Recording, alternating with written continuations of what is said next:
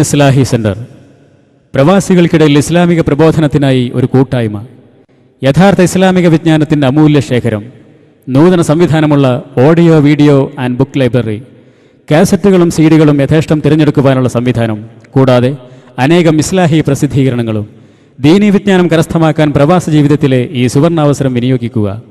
Jeddah Indian Islahi centre മസ്ജിദ് സൗദിന് സമീപം Madina road Jeddah. Phone six five two three double nine five six five three two zero double two.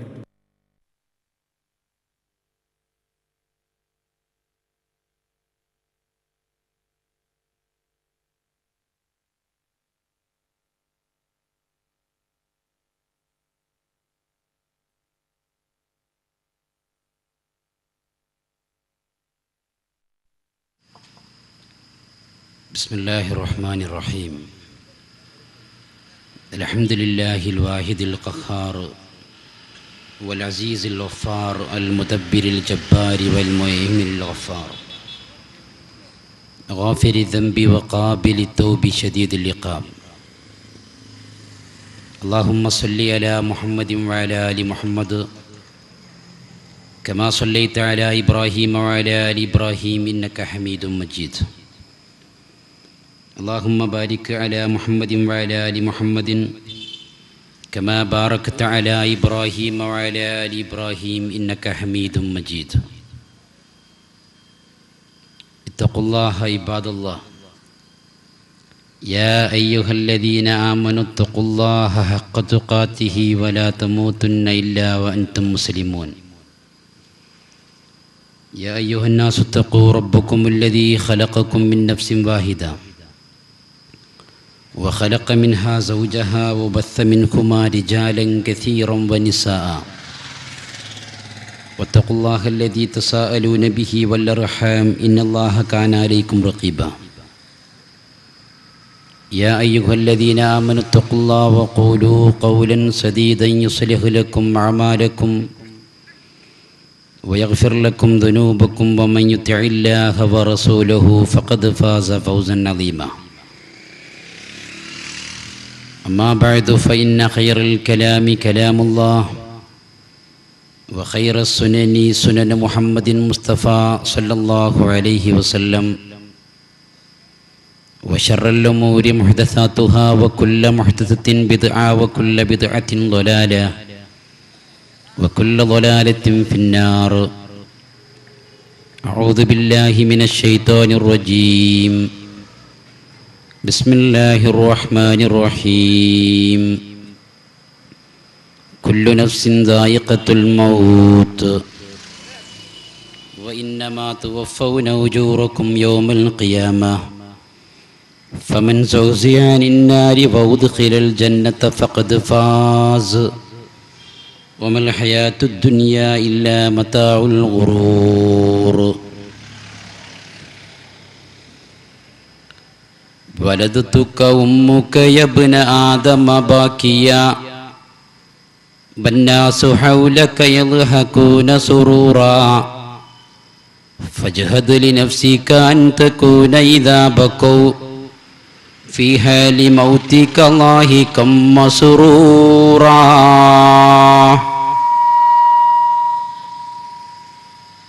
സഹോദരങ്ങളെ പടച്ചറബിന്റെ നിയമനിർദ്ദേശങ്ങൾ പാലിച്ചുകൊണ്ട് ജീവിക്കണം എന്നുണർത്തുകയാണ്.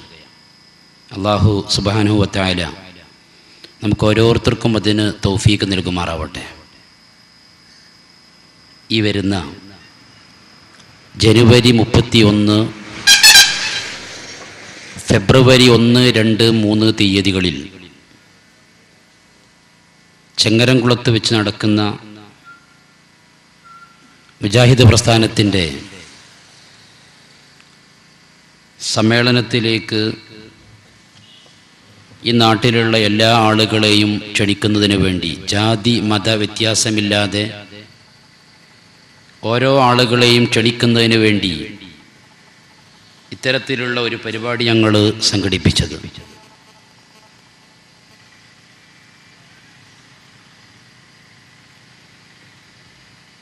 മുജാഹിദ് പ്രസ്ഥാനത്തിന്റെ ഈ സമ്മേളനത്തിലേക്ക് ഈ പ്രദേശത്തുള്ള മുതവല്ലൂരിലുള്ള എല്ലാ നല്ലവരായ നാട്ടുകാരെയും ഞങ്ങൾ ആത്മാർത്ഥമായി ക്ഷണിക്കുകയാണ്. അല്പസമയം മതപരമായ ചില കാര്യങ്ങൾ നിങ്ങളുമായി സംസാരിക്കാനാണ് ഞാൻ ഉദ്ദേശിക്കുന്നത്. നമ്മൾ മനസ്സിലാക്കുന്നത് പോലെ ഒരു കാലത്ത് നമ്മൾ ജനിച്ചു. നമുക്ക് യാതൊരു സ്വാധീനവും ഉണ്ടായിരുന്നില്ല. ഉമ്മ നമ്മെ പ്രസവിക്കുമ്പോൾ ചുറ്റും കൂടി നിന്നിരുന്ന ആളുകളൊക്കെ സന്തോഷത്തോടു കൂടി നോക്കുകയായിരുന്നു. കുട്ടി ആണാണോ അതല്ല പെണ്ണാണോ എന്നുള്ളത്. ശേഷം അവർ അടക്കം പറഞ്ഞു ആണാണ് അല്ലെങ്കിൽ പെൺകുട്ടിയാണ് എന്നവരടക്കം പറഞ്ഞു. പ്രസവ വേദന കൊണ്ട് മാതാവ് പുളയുമ്പോഴും ഉമ്മന്റെ മനസ്സിൽ ഒരു സന്തോഷമുണ്ടായിരുന്നു കാരണം ഒരു കുട്ടിക്ക് ഞാൻ ജന്മം നൽകി എന്നുള്ളത്. അവർക്ക് ചുറ്റും കൂടി നിന്നിരുന്ന ആളുകൾ സന്തോഷം കൊണ്ട് തുള്ളിച്ചാടുകയായിരുന്നു. ഇത് ഒരു യാഥാർത്ഥ്യമാണ് എങ്കിൽ ഇനി ചുറ്റും കൂടി നിൽക്കുന്ന ആളുകളെ കരയിപ്പിച്ചുകൊണ്ട് നാം ഈ ലോകത്തോട് യാത്ര പറയും എന്നുള്ളത് ഉറപ്പുള്ള കാര്യമാണ്. ഞാനത് കൂടുതൽ ആയത്തുകളോ ഹദീസുകളോ ഓതിക്കൊണ്ട് വിശദീകരിക്കേണ്ട ആവശ്യമില്ല. മരണം ഓരോ മനുഷ്യന്മാരും അനുഭവിക്കേണ്ട കാര്യമാണ്. വിശുദ്ധ ഖുർആൻ ഞാൻ നിങ്ങളെ ഓതിക്കേൾപ്പിച്ച ആയത്തിലൂടെ പടച്ചിറപ്പ് പഠിപ്പിച്ചത് കുല്ലു നഫ്സിൻ ദായിഖത്തുൽ മൗത്ത്. ഓരോ ശരീരവും മരണത്തിന്റെ രുചി ആസ്വദിക്കുക തന്നെ ചെയ്യും എന്നാണ്. മരിക്കുമെന്നല്ല ഖുർആന്റെ ഭാഷ്യം. മരണത്തിന്റെ രുചി ആസ്വദിക്കുമെന്നാണ്. അതിനൊരു കാരണമുണ്ട്. മരണത്തിന്റെ വേദന അത്രമാത്രം പ്രയാസകരമായിരിക്കും അത്രമാത്രം വേദനയുള്ളതായിരിക്കും എന്നുള്ളതാണ്.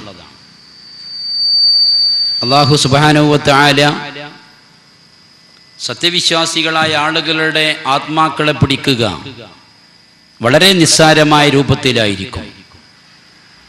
മഴവെള്ളപ്പാച്ചിൽ ഒലിച്ചു വരുന്ന മഴത്തുള്ളികൾ പോലെ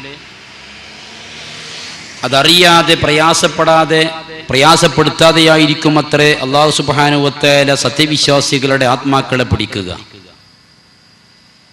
ഇങ്ങനെ പിടിക്കപ്പെടുന്ന ആത്മാക്കളുടെ കൂട്ടത്തിൽ ഏറ്റവും നിസ്സാരമായി പിടിക്കപ്പെടേണ്ടത് ലോകത്തിന്റെ പ്രവാചകൻ മുഹമ്മദ് മുസ്തഫ സല്ലല്ലാഹു അലൈ വാലിഹി വസഹബിഹി വസല്ലമയുടേതാണ്. മരണാസനായി കിടക്കുന്ന പടച്ചറബിന്റെ പ്രവാചകന് ആയിഷ റളിയല്ലാഹു തലാനയുടെ മടിയിൽ കടന്ന് എന്തൊക്കെയോ സംസാരിക്കുകയാണ്. ആയിഷ റളിയല്ലാഹു തലാന പറഞ്ഞു ഞാൻ അള്ളാഹുവിന്റെ റസൂൽ പറയുന്ന കാര്യം ഞാൻ ശ്രദ്ധിക്കുകയുണ്ടായി. ആ സന്ദർഭത്തിൽ പ്രവാചകൻ പറയുന്നത് ലാ ഇലാഹ ഇല്ലല്ലാ എന്നാണ്. മരണത്തിന് ഒരു വേദനയുണ്ട് മരണത്തിന് ഒരു വെപ്രാളമുണ്ട് എന്നാണ് അതിന്റെ അർത്ഥം. കോടാനുകോടി സൃഷ്ടികളിൽ ഏറ്റവും ശ്രേഷ്ഠവാന്മാരായ അമ്പിയാക്കന്മാരിലും ഏറ്റവും ശ്രേഷ്ഠവാന്മാരായ ഉലുൽ അസമുകൾ എന്ന പേരറിയപ്പെടുന്ന അഞ്ച് പ്രവാചകന്മാരിലും ഏറ്റവും ശ്രേഷ്ഠവാനായ മുഹമ്മദ് മുസ്തഫ സല്ലാഹു അലൈ വാലിഹി വസഹബി വസല്ലമക്ക് മരണത്തിന് അത്രമാത്രം ഒരു വെപ്രാളവും ഒരു വേദനയുമുണ്ട് എങ്കിൽ നാം ഒക്കെ എത്രമാത്രം വേദന അനുഭവിക്കേണ്ടി വരും എന്നുള്ളത് ആലോചിച്ചാൽ മനസ്സിലാകുന്ന കാര്യമാണ്. അതുകൊണ്ടാണ് വിശുദ്ധ ഖുർആൻ മരിക്കുമെന്ന് പറയുന്നതിനേക്കാളേറെ മരണത്തിന്റെ രുചി നിങ്ങൾ ആസ്വദിക്കുക തന്നെ ചെയ്യും എന്ന് പറഞ്ഞത്. ഒരാൾ പോലും അതിൽ നിന്ന് ഒഴിവല്ല. എല്ലാവരും മരിക്കും. അതിന് ജാതി വ്യത്യാസമില്ല. മുസ്ലിം മരിക്കും ക്രിസ്ത്യാനി മരിക്കും ഹിന്ദു മരിക്കും. സംഘടനാ വ്യത്യാസങ്ങളില്ല. മുജാഹിദ് മരിക്കും സുന്നി മരിക്കും ജമാഅത്ത് ഇസ്ലാമിക്കാരൻ മരിക്കും എല്ലാവരും മരിക്കും. ദൈവമില്ല എന്ന് പറയുന്ന നിരീശ്വരവാദിയും ദൈവമുണ്ടെന്ന് പറയുന്ന മതവിശ്വാസിയും അതേപോലെ തന്നെ രാഷ്ട്രീയപരമായ വ്യത്യാസങ്ങളും അതിന് ഇല്ല. കോൺഗ്രസ്സുകാരൻ മരിക്കും കമ്മ്യൂണിസ്റ്റുകാരൻ മരിക്കും മുസ്ലിം ലീഗുകാരൻ മരിക്കും അതേപോലെയുള്ള മറ്റു രാഷ്ട്രീയ പ്രസ്ഥാനത്തിന്റെ ആളുകൾ ആരൊക്കെയുണ്ടോ അവരും മരിക്കും. അതിന് പ്രായവ്യത്യാസങ്ങളില്ല. ചെറിയ കുട്ടികൾ മരിക്കും പ്രായമേറിയ ആളുകൾ മരിക്കും എന്നുള്ളത് വളരെ എല്ലാവർക്കും അറിയാവുന്ന ഒരു കാര്യമാണ്. ലോകത്ത് ഏതെങ്കിലും ഒരാൾ കാലാകാലം ജീവിക്കുമായിരുന്നുവെങ്കിൽ അത് മുഹമ്മദ് മുസ്തഫ സല്ലല്ലാഹു അലിഹി വസല്ലമ ആകുമായിരുന്നു. ഒരു കവി പറഞ്ഞതുപോലെ വലൗക്കാനത്തി ദുന്യാത്ത ദൂമൂലി വാഹിദി لكان رسول الله فيها مخلدا وما أحد ينجو من الموت سالما وسهم المنايا قد أصاب محمدا ഏതെങ്കിലും ഒരാൾ കാലാകാലം ഈ ഭൂമുഖത്ത് ജീവിക്കുമായിരുന്നുവെങ്കിൽ അത് അള്ളാഹുവിന്റെ പ്രവാചകനാകുമായിരുന്നു അള്ളാഹുവിൻ റസൂല് മരണപ്പെട്ടിട്ടുണ്ട് വഫാത്തായിട്ടുണ്ട് എന്നുള്ളതിന് ഏറ്റവും ചുരുങ്ങിയത് മദീനയിൽ പോകുന്ന ആളുകളെങ്കിലും സാക്ഷിയാണ്. പ്രവാചകന്മാർ എവിടെയാണോ മരിക്കുന്നത് അവരെ അവിടെ മറവ് ചെയ്യണമെന്നാണ് ഇസ്ലാമിന്റെ വിധി. ഐഷ റളിയല്ലാഹു തലാനയുടെ വീട്ടിൽ വെച്ചിട്ടാണ് അള്ളാഹുൻ റസൂൽ മരണമടഞ്ഞത്. അതുകൊണ്ട് അവിടെ അവിടെയാണ് പ്രവാചകനെ മറവ് ചെയ്തതും പ്രവാചകന്റെ മരണശേഷം ഖുലഫാഉർ റാഷിദീങ്ങൾ ഭരണം നടത്തിയപ്പോൾ പ്രവാചകന്റെ കബർ ഉൾക്കൊള്ളുന്ന ആയിഷ റളിയല്ലാഹു തആലയുടെ വീട് മദീനത്തെ പള്ളിക്കുള്ളിലായില്ല. അതിനുശേഷം പിന്നീട് ബനു ഉമ്മയ്യ രാജവംശം ഭരണം നടത്തുമ്പോഴാണ് പ്രവാചകന്റെ കബർ ഉൾക്കൊള്ളുന്ന ആയിഷ റളിയല്ലാഹു തആലയുടെ വീട് മദീനത്തെ പള്ളിക്കുള്ളിലാകുന്നത്. ഇന്ന് മദീനത്ത് പോകുന്ന ഒരാൾ നബ്സല്ലാഹു അലൈ വസ്ല്ലമ്മ മരണപ്പെട്ടു പോയിട്ടുണ്ട് എന്നുള്ളതിന് സാക്ഷിയാണ് എന്ന് ഞാൻ പറയാനുള്ള കാരണം. പ്രവാചകന്റെ കബർ ഉൾക്കൊള്ളുന്ന ആയിഷ തആലയുടെ വീട് മസ്ജിദുൻ നബിക്കുള്ളിലാണ് അവിടെ ചെന്ന് സലാം പറയും എന്നുള്ളത് കൊണ്ടാണ്. അപ്പൊ അള്ളാഹുവിന്റെ പ്രവാചകൻ പോലും മരണപ്പെട്ടു പോയിട്ടുണ്ട്. അങ്ങനെ വന്നാൽ പിന്നീട് ലോകത്ത് നിന്ന് ആരും തന്നെ അതിൽ ഒഴിവല്ല. എല്ലാ മനുഷ്യന്മാരും മരിക്കും. മരണത്തിന്റെ ഒരു പ്രത്യേകത അത് എപ്പോഴാണ് എവിടെ വെച്ചാണ് എങ്ങനെയാണ് എന്ന് പറയാൻ ഒരാളെ കൊണ്ടും സാധ്യമല്ല. അള്ളാഹു സുബാനുവത്തായ പടച്ച റബ്ബിനെ മാത്രം അറിയുന്ന അഞ്ച് കാര്യങ്ങൾ എണ്ണി പറയുന്ന കൂട്ടത്തിൽ അള്ളാഹുത്താല പറയുന്ന ഒരു കാര്യം ഇന്നല്ലാഹ ഇൻദഹു ഇൽമുസ്സാ അള്ളാഹുവിന്റെ പക്കലാണ് എപ്പോഴാണ് ഖിയാമത്ത് നാൾ ഉണ്ടാവുക എന്നുള്ളതിനെ കുറിച്ചുള്ള പരിപൂർണമായ അറിവുള്ളത് എപ്പോഴാണ് മഴ വർഷിക്കുക എന്നുള്ളതിനെ കുറിച്ചുള്ള പരിപൂർണമായ അറിവുള്ളതും അള്ളാഹുവിന്റെ പക്കലാണ്. ഗർഭസ്ഥ ശിശുവിനെ കുറിച്ചുള്ള പരിപൂർണമായ അറിവുള്ളതും പടച്ചിറപ്പിന്റെ പക്കലാണ് ഒരു കുട്ടി ആണാണോ അല്ലെങ്കിൽ പെണ്ണാണോ എന്നറിയാനുള്ള കഴിവൊക്കെ ആധുനിക സജ്ജീകരണങ്ങൾ കൊണ്ടുണ്ടെങ്കിലും ആ കുട്ടിയുടെ കാഴ്ച കൃത്യമാണോ? ആ കുട്ടിയുടെ കേൾവി കൃത്യമാണോ? ബുദ്ധി കൃത്യമാണോ എന്നറിയാനുള്ള കണ്ടുപിടുത്തങ്ങളൊന്നും ഇന്ന് വരേക്ക് നടന്നിട്ടില്ല. അതുകൊണ്ടാണ്.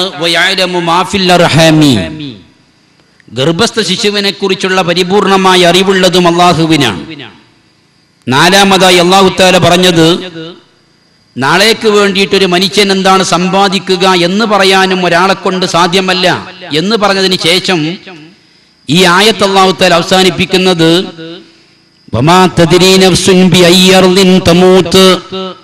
എവിടെ വെച്ചിട്ടാണ് ഒരു മനുഷ്യൻ മരിക്കുക എന്ന് പറയാന് ഒരാൾക്ക് പോലും അറിയില്ല ഒരു മനുഷ്യന് പോലും അറിയില്ല അപ്പൊ ആലോചിച്ച് നോക്കൂ നിങ്ങൾ എവിടെ വെച്ചുമാകാം എപ്പോഴുമാകാം എങ്ങനെയുമാകാം? മിനിയാന്ന് കണ്ട ആളുകളെ നമ്മൾ ഇന്നലെ കണ്ടില്ല. ഇന്നലെ കണ്ട ചില ആളുകളെ നമ്മൾ ഇന്ന് കണ്ടില്ല. ഇന്ന് കണ്ട ചില ആളുകൾ നമ്മൾ നാളെ കാണുമോ എന്നറിയില്ല. മനുഷ്യന്റെ അവസ്ഥ അതാണ് നിങ്ങൾക്കറിയുമോ? ലോകത്തൊരു ഗ്യാരണ്ടിയും ഇല്ലാത്ത സാധനം. അത് ഈ കാണുന്ന മനുഷ്യന്റെ ശരീരമാണ്. നമ്മളെ സ്ത്രീകൾ കല്യാണത്തിനൊക്കെ പോകുമ്പോ സ്വർണല്ല എന്നുണ്ടെങ്കിൽ സ്വർണം പൂശി ആഭരണങ്ങൾ വാങ്ങിക്കാറുണ്ട്. ഒരിക്കറിയാതെ ആ കല്യാണം കഴിയണ വരെ എന്താണെങ്കിലും എന്റെ കളറ് പോകൂല എന്നുള്ളത് പക്ഷേ ആ വള ധരിച്ചിരിക്കുന്ന അല്ലെങ്കിൽ ആ മാല ധരിച്ചിരിക്കുന്ന ആ കഴുത്തുണ്ടല്ലോ അത് ആ കല്യാണം കഴിയണത് വരെ നിൽക്കുമെന്ന് പറയാൻ ആർക്കാ ധൈര്യമുള്ളത്? ഒരാൾക്ക് പോലുമില്ല. എത്ര എത്ര മനുഷ്യന്മാര് അല്ലേ കല്യാണത്തിന്റെ സന്ദർഭത്തിൽ മരണപ്പെട്ടു പോയി. നമ്മൾ പത്രത്തിലൂടെ നമ്മൾ വായിക്കുന്നുണ്ട്. ഇന്നലെ നിങ്ങൾ പത്രത്തിൽ വായിച്ചൊരു സംഭവം. ഒരാൾ കൂട്ടുകാരന്റെ മയ്യത്ത് കവറെടുക്കാൻ വേണ്ടി വന്നപ്പോ അയാൾ അത് കണ്ടിട്ട് അവിടെ വെച്ചിട്ട് കുഴഞ്ഞു വീണ് മരിച്ചു. മനുഷ്യന്റെ അവസ്ഥ എങ്ങനെയാണ്? വർഷങ്ങൾക്ക് മുമ്പ് മൂന്നോ നാലോ വർഷങ്ങൾക്ക് മുമ്പ് ജിദ്ദയിൽ നിന്ന് ഹാജിമാരെയും കൊണ്ട് കൊച്ചി ഇന്റർനാഷണൽ എയർപോർട്ടിലേക്ക് പുറപ്പെട്ട ഒരു ഫ്ലൈറ്റിൽ ഇരുന്നൂറ്റി നാൽപ്പത് പേരുണ്ടായിരുന്നു. ഇരുന്നൂറ്റി മുപ്പത്തി ഒൻപത് ആളുകളും അവിടെ ഇറങ്ങി. കൊച്ചിയിൽ ഇറങ്ങി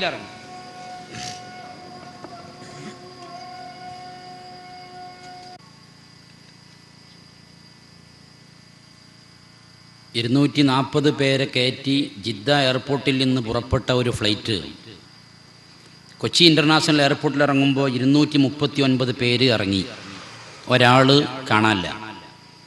ചെന്ന് നോക്കുമ്പോൾ ഒരാൾ സീറ്റിലിരുന്ന് ഉറങ്ങാണ്. തട്ടി നോക്കുമ്പോൾ അയാൾ ഇറങ്ങി. പക്ഷെ അയാൾ അയാൾ ഇറങ്ങണില്ല. മരണപ്പെട്ടു പോയിട്ടുണ്ട്. മരിച്ചന്റെ അവസ്ഥ അങ്ങനെയാണ്. ജിദ്ദയിൽ നിന്ന് നമ്മുടെ കൊണ്ടോട്ടി എയർപോർട്ടിലേക്ക് പുറപ്പെട്ട ഒരാൾ പുറപ്പെടുന്നതിന് മുമ്പ് അവിടെ ഒന്ന് വിളിച്ചു പറഞ്ഞു ഞാൻ ഇന്ന സമയത്ത് ഇന്ന ഫ്ലൈറ്റിൽ ഞാൻ ഇറങ്ങും. അയാളെ സ്വീകരിക്കാൻ വേണ്ടി വീട്ടുകാരെല്ലാവരും ചെന്നു. അയാൾ കൂടെ ഇറങ്ങിപ്പോരുകയല്ല ചെയ്തത് മറിച്ച് അയാളെ കൊണ്ടുപോവുകയായിരുന്നു ചെയ്തത്. അഥവാ അയാൾ ഫ്ലൈറ്റിൽ വെച്ചിട്ടാണ് മരണപ്പെട്ടത്. ഇന്നത്തെ പത്രത്തിൽ നമ്മൾ കണ്ടു. നമ്മുടെ നാട്ടിൽ നിന്ന് ഹജ്ജിന് പോയ സ്ത്രീകളും പുരുഷന്മാരുമായി മൂന്ന് മൂന്ന് നാല് പേര് മരണപ്പെട്ടത്. മരിക്കുമെന്നുള്ള ഒരു സൂചന എങ്ങാനും കിട്ടിയിരുന്നുവെങ്കിൽ അവർ അങ്ങോട്ട് യാത്രയാകുമായിരുന്നില്ല. കാരണം മരിക്കുന്ന ഏതൊരാൾക്കും അവനാന്റെ മക്കളുടെ മുമ്പിൽ വെച്ച് മരിക്കാനാണ് ആഗ്രഹം. ഒന്നും ഉണ്ടായിട്ടല്ല. മരണവേദന കുറയൊന്നുമില്ല. പക്ഷെ എന്നിരുന്നാലും അവസാനമായി ഭാര്യയോടൊരു വാക്ക് പറഞ്ഞ് അവസാനമായി ഭർത്താവിനോടൊന്ന് സംസാരിച്ച് മക്കളോടൊന്ന് വർത്തമാനം പറഞ്ഞ് യാത്ര പോകാനാണ് എല്ലാ മനുഷ്യന്മാരും ആഗ്രഹിക്കുന്നത്. പക്ഷേ അത് കിട്ടുന്നില്ല. കാരണം തോണ്ടിച്ചിട്ടുണ്ടെങ്കിൽ എവിടെ വെച്ചാണ് എപ്പോഴാണ് എങ്ങനെയാണ് എന്ന് പറയാൻ ഒരു മനുഷ്യനെ കൊണ്ടും സാധ്യമല്ല. അതുകൊണ്ടാണത്. അപ്പൊ എങ്ങനെയുമാകാം? ഞാൻ നേരത്തെ പറഞ്ഞതുപോലെ മിനിയാന്ന് കണ്ട മുഴുവൻ ആളുകളെയും നമ്മൾ ഇന്നലെ കണ്ടില്ല. ഇന്നലെ കണ്ട ആളുകളിൽ ചിലത് നമ്മൾ ഇന്ന് കാണുന്നില്ല ഇനി ഇന്ന് കാണുന്ന ആളുകളെ നമ്മൾ നാളെ കാണുമോ എന്ന് പറയാൻ പറ്റില്ല. ഇന്ന് നമ്മൾ സംസാരം കഴിഞ്ഞു പോയി നാളെ കാണാം ഇൻഷാ അള്ളാ എന്ന് പറയുമ്പോൾ നാളെ നമ്മൾ രാവിലെ പെത്രെടുത്ത് നോക്കുമ്പോൾ ചരമക്കുളത്തിലായിരിക്കാൻ ചിലപ്പോൾ നാം സ്ഥാനം പിടിക്കുന്നത് അങ്ങനെയും മനുഷ്യന്റെ അവസ്ഥയുണ്ടാകാറുണ്ട്. കഴിഞ്ഞ ആഴ്ചയിൽ ഒരു പ്രസംഗം നടന്നുകൊണ്ടിരിക്കുമ്പോൾ പ്രസംഗം കഴിഞ്ഞതിന് ശേഷം നമസ്കരിക്കാൻ വേണ്ടി തൊട്ടടുത്തുള്ള പള്ളിയിലേക്ക് പോയപ്പോൾ ഒരാൾക്ക് വേദന അനുഭവപ്പെട്ടു. അയാൾ അവിടെ വെച്ചിട്ട് മരിച്ചു. നേരം വെളുക്കുന്നതിന് മുമ്പ് പിറ്റേന്ന് അതേ നേരമാകുന്നതിന് മുമ്പ് അയാൾ മണ്ണിനടിയിലാണ്. ഇതാണ് മനുഷ്യന്റെ അവസ്ഥ എന്ന് സൂചിപ്പിക്കുന്നതിന് വേണ്ടിയിട്ടാണ് ഞാൻ ഈ കാര്യം പറഞ്ഞത്. ഇതോരോ മനുഷ്യന്മാരും അനുഭവിക്കേണ്ടതാണ്. അതിൽ നിന്ന് ആരും ഒഴിവല്ല. എത്ര വലിയവനാണെങ്കിലും എത്ര ചെറിയവനാണെങ്കിലും ആരും അതിൽ നിന്ന് ഒഴിവല്ല എന്നുള്ളത് നമുക്കൊക്കെ അറിയുന്ന കാര്യമാണ്. ഫിറാവിന് പോലും മരണപ്പെടുകയുണ്ടായി. ഞാനാണ് നിങ്ങളുടെ അത്യുന്നതനായ രക്ഷിതാവ്. ഞാനല്ലാത്തൊരു റബ്ബ് നിങ്ങൾക്കുള്ളതായിട്ട് എനിക്കറിയില്ല എന്ന് പറഞ്ഞ ഫിറാവിനെപ്പോലും അള്ളാഹു സുബാനുവത്തായ വെള്ളത്തിൽ മുക്കി കൊല്ലുകയുണ്ടായി. അയാൾ പോലും മരണപ്പെട്ടിട്ടുണ്ടെന്നുണ്ടെങ്കിൽ പിന്നെ അതിനേക്കാളേറെ ചെറിയവരും അതിനേക്കാളേറെ വലിയവരും എല്ലാം ഈ ലോകത്തോട് യാത്ര പറയും എന്നുള്ള കാര്യം തീർച്ചയാണ്. ശരി. മരണത്തോടു കൂടി അവസാനിക്കുകയാണെങ്കിലോ കുട്ടികൾ പറയാറുള്ളത് പോലെ അടിച്ച് പൊളിച്ച് ജീവിക്കാമായിരുന്നു.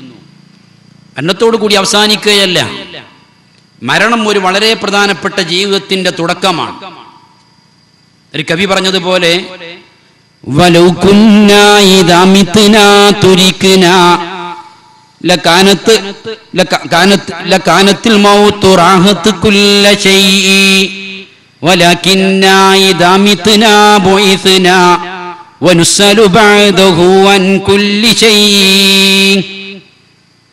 മരണത്തോടുകൂടി അവസാനിച്ചിരുന്നുവെങ്കിൽ ഈ മരണം ഒരു വിശ്രമമാകുമായിരുന്നു.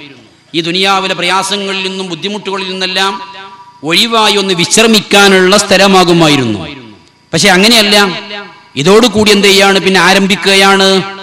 വളരെ പ്രധാനപ്പെട്ട മറ്റൊരു ജീവിതം ആരംഭിക്കുകയാണ്. അതിനുശേഷമാണെങ്കിലോ പിന്നെ ക്യാമെന്നുള്ള പുനർജീവിപ്പിക്കുകയാണ്. മനുഷ്യന്റെ അവസ്ഥ എന്ന് പറഞ്ഞിട്ടുണ്ടെങ്കിൽ മരണം ശേഷം വരുന്നത് അതിനേക്കാളേറെ പ്രയാസകരമായ കാര്യമാണ്. കബർ ജീവിതം. അതിനുശേഷമുള്ള പരലോക ജീവിതം. ഒന്ന് ആലോചിച്ച് നോക്കൂ നിങ്ങൾ മുസ്ലിം സമ്പ്രദായ പ്രകാരം മരണപ്പെട്ട മനുഷ്യനെ കബറിൽ കൊണ്ടുപോയി വെക്കുന്ന സമ്പ്രദായമാണ് മുസ്ലിമീങ്ങൾ സ്വീകരിച്ചു വരുന്നത്. കബറിൽ കൊണ്ടുപോയി വെച്ചാൽ രണ്ടോ മൂന്നോ ദിവസം കഴിഞ്ഞാൽ അദ്ദേഹത്തിന്റെ ശരീരങ്ങളെല്ലാം പുഴുക്കളരിക്കുകയാണ്. മൂക്കിലൂടെയും ചെവിയിലൂടെയും എല്ലാം വലിയ വലിയ പുഴുക്കൾ അരിച്ചിറങ്ങുകയാണ്. എത്രമാത്രം അവൻ ശ്രദ്ധിച്ചിരുന്ന ശരീരമായിരുന്നു എന്നറിയുമോ? ചെറിയൊരു പനി ഉണ്ടാകുമ്പോഴേക്ക് അവൻ ഡോക്ടറെ കാണാൻ പോയിരുന്നു. കല്യാണത്തിനൊക്കെ പോകുമ്പോ മുഖത്തെന്തെങ്കിലും വികൃതമായ രൂപങ്ങളുണ്ടോ എന്നുള്ളത് അവൻ ഒരു കണ്ണാടിയിലായിരുന്നില്ല നോക്കിയിരുന്നത്. ഒന്നിലധികം കണ്ണാടിയിൽ അവൻ നോക്കിയിരുന്നു. ഇങ്ങനെയുള്ള ഈ മനുഷ്യനെ നമ്മൾ മണ്ണിൽ കൊണ്ടുപോയി വെക്കുകയാണ്. അത് അതിനേക്കാളേറെ ഇനി അവിടുന്ന് അങ്ങോട്ടാണുണ്ടെങ്കിലോ അതതിനേക്കാളേറെ പ്രയാസം. ഉസ്മാൻ ബിൻ കബർ റളിയല്ലാഹു കണ്ടാൽ കരയുമായിരുന്നു. അപ്പൊ ഉസ്മാൻ അഫ്ഫാനോട് ചോദിക്കുകയുണ്ടായി അല്ല അമീറുൽ മുഅ്മിനീൻ സ്വർഗത്തെക്കുറിച്ച് പറയുമ്പോഴും നരകത്തെക്കുറിച്ച് പറയുമ്പോഴും നിങ്ങൾ ഇങ്ങനെ കരയാറില്ലല്ലോ? എന്നാൽ ഖബറിനെ കുറിച്ച് പറയുമ്പോ നിങ്ങൾ എന്താണ് ഇങ്ങനെ കരയണത്? എന്ന് ചോദിച്ചപ്പോ അതിനദ്ദേഹം ഒരു കാരണമായി പറഞ്ഞത് കാരണം എന്താണെന്നറിയുമോ പടച്ചിറപ്പിന്റെ പ്രവാചകൻ പറയുന്നത് ഞാൻ കേട്ടിട്ടുണ്ട്. ഞാൻ കണ്ട കാഴ്ചയിൽ ഏറ്റവും മോശമായ കാഴ്ച അത് കബറിലെ കാഴ്ചയാണ്.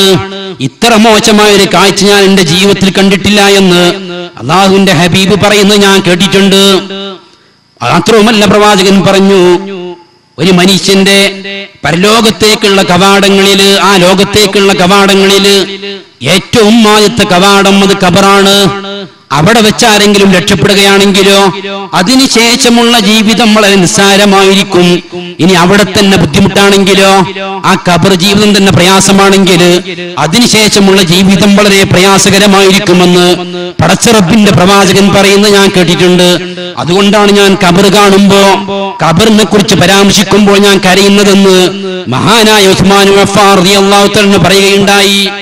കബറിന്റെ അവസ്ഥ അതാണ്. കബറിലെ ശിക്ഷ നോക്ക് യാഥാർത്ഥ്യമാണ്. ചില ആൾക്കാരുണ്ട് ബുദ്ധിമാന്മാര്. കബറിൽ എന്തായാലും ശിക്ഷ ഉണ്ടാവില്ല കാരണം എന്താ? എന്റെ ബുദ്ധിക്ക് അത് ഉൾക്കൊള്ളാൻ കഴിയണില്ല. അള്ളാഹുത്തല രണ്ട് പ്രാവശ്യം ശിക്ഷിക്കൂലല്ലോ. അള്ളാഹുത്തല രണ്ട് പ്രാവശ്യം ശിക്ഷിക്കുകയാണെങ്കിൽ പടച്ചിറപ്പ് നീതിമാനാവൂലല്ലോ. അതുകൊണ്ട് പടച്ചിറപ്പ് രണ്ട് പ്രാവശ്യം ശിക്ഷിക്കൂല. അതുകൊണ്ട് കബറിലെ ശിക്ഷ ഉണ്ടാവൂല. ആലോചിച്ച് നോക്ക് നിങ്ങൾ. ഇപ്പൊ നമ്മൾ നമസ്കാരം കഴിഞ്ഞു പോന്നു. നമസ്കാരത്തിന്റെ അവസാനത്തെ സമയത്ത് നാം പ്രാർത്ഥിച്ചൊരു പ്രാർത്ഥന.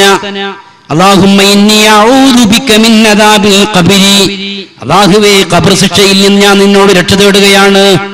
ഖബറിൽ ശിക്ഷയില്ലെങ്കിൽ പ്രാർത്ഥിക്കേണ്ട ആവശ്യമുണ്ടോ? മദീനത്തിലൂടെ നടന്നു പോകുന്ന പടച്ചിറപ്പിന്റെ പ്രവാചകന് ഒരു തോട്ടത്തിലൂടെ നടന്നു പോവുകയാണ് രണ്ട് ഖബർ കാണിച്ചു കൊടുത്തിട്ട് മുത്തനബി പറഞ്ഞു ഇന്നഹുമാലയു അദബാനി ഈ കബറിൽ കിടക്കുന്ന രണ്ടു പേര് ശിക്ഷ അനുഭവിച്ചുകൊണ്ടിരിക്കുകയാണ്. അതൊരു വലിയ കുറ്റമായിരുന്നില്ല പക്ഷേ അതൊരു വലിയ കുറ്റമാണ് എന്ന് പറഞ്ഞാൽ അവരുടെ വീക്ഷണത്തിൽ അതൊരു വലിയ കുറ്റമായിരുന്നില്ല പക്ഷേ ഇസ്ലാമിന്റെ വീക്ഷണത്തിനാണെങ്കിലോ അതൊരു വലിയ കുറ്റമാണ്. ഒരാൾക്കുള്ള ജോലി എന്തായിരുന്നറിയുമോ? മൂത്രമൊഴിച്ചാൽ അദ്ദേഹം വൃത്തിയാക്കാറുണ്ടായിരുന്നില്ല. എണീറ്റങ്ങോട്ട് പോകും. എണീറ്റങ്ങോട്ട് പോകും അയാൾ വൃത്തിയാക്കാറുണ്ടായിരുന്നില്ല. അത് കബറിൽ ശിക്ഷ കിട്ടുന്ന കാര്യമാണ്. പ്രവാചകൻ ആ കാര്യം പറഞ്ഞു. രണ്ടാമത്തെ ആൾ എന്താണ് ചെയ്തതെന്നറിയുമോ മനുഷ്യന്മാരുടെ പച്ചയിറച്ചി തിന്നുന്നവരാണ്. ഈപത്ത് പറയുന്നവനാണ്. നബീമത്ത് പറയുന്നവനാണ്. അതാണ് അവന് കബറിൽ ശിക്ഷ കിട്ടാനുള്ള കാരണം. നോക്കൂ നിങ്ങൾ ആ കബർ ശിക്ഷയിൽ നിന്ന് രക്ഷ തേടാൻ വേണ്ടി പടച്ച റബ്ബിന്റെ പ്രവാചകൻ പ്രാർത്ഥിക്കാൻ നമ്മോട് കൽപ്പിക്കുകയുണ്ടായി. വിശുദ്ധ ഖുർആൻ അതിലേക്ക് സൂചന നൽകുന്നുണ്ട്. രാവിലെയും വൈകുന്നേരവും അവന് കബറിന്റെ കബറിൽ നരകത്തിൽ നിന്ന് നരകം ഇങ്ങനെ പ്രദർശിപ്പിക്കപ്പെടുകയാണ് നരകം അവരുടെ മേൽ പ്രദർശിപ്പിക്കപ്പെടും. ഒന്ന് ആലോചിച്ച് നോക്കൂ നിങ്ങൾ ആ അവസ്ഥ. നരകത്തിന്റെ അവസ്ഥ മനുഷ്യൻ ഇങ്ങനെ പ്രദർശിപ്പിക്കപ്പെടുന്ന അവസ്ഥ.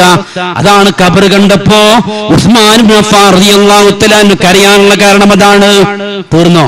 ഇനി അതിന് ശേഷമുള്ള ജീവിതമാണെങ്കിലോ അത് അതിനേക്കാളേറെ കഷ്ടമാണ് പരലോകം എന്നൊക്കെ പറഞ്ഞ സുഹൃത്തുക്കളെ നമ്മൾ അവിടെ ആരും രക്ഷപ്പെടുത്താനില്ല. പലരുടെയും ആഗ്രഹം എന്താ പലരുടെയും വിചാരം എന്താണെന്നറിയുമോ ദുനിയാവിൽ എന്ത് തെറ്റ് ചെയ്താലും രക്ഷപ്പെടുത്താൻ ആളുകളുണ്ട്. ഏതെങ്കിലും ഒരു രാഷ്ട്രീയ പ്രസ്ഥാനത്തിന്റെ പ്രവർത്തനത്തിന്റെ പിൻബലമുണ്ടെങ്കിൽ ഒന്നും പേടിക്കേണ്ടതില്ല. കാരണം എന്താ?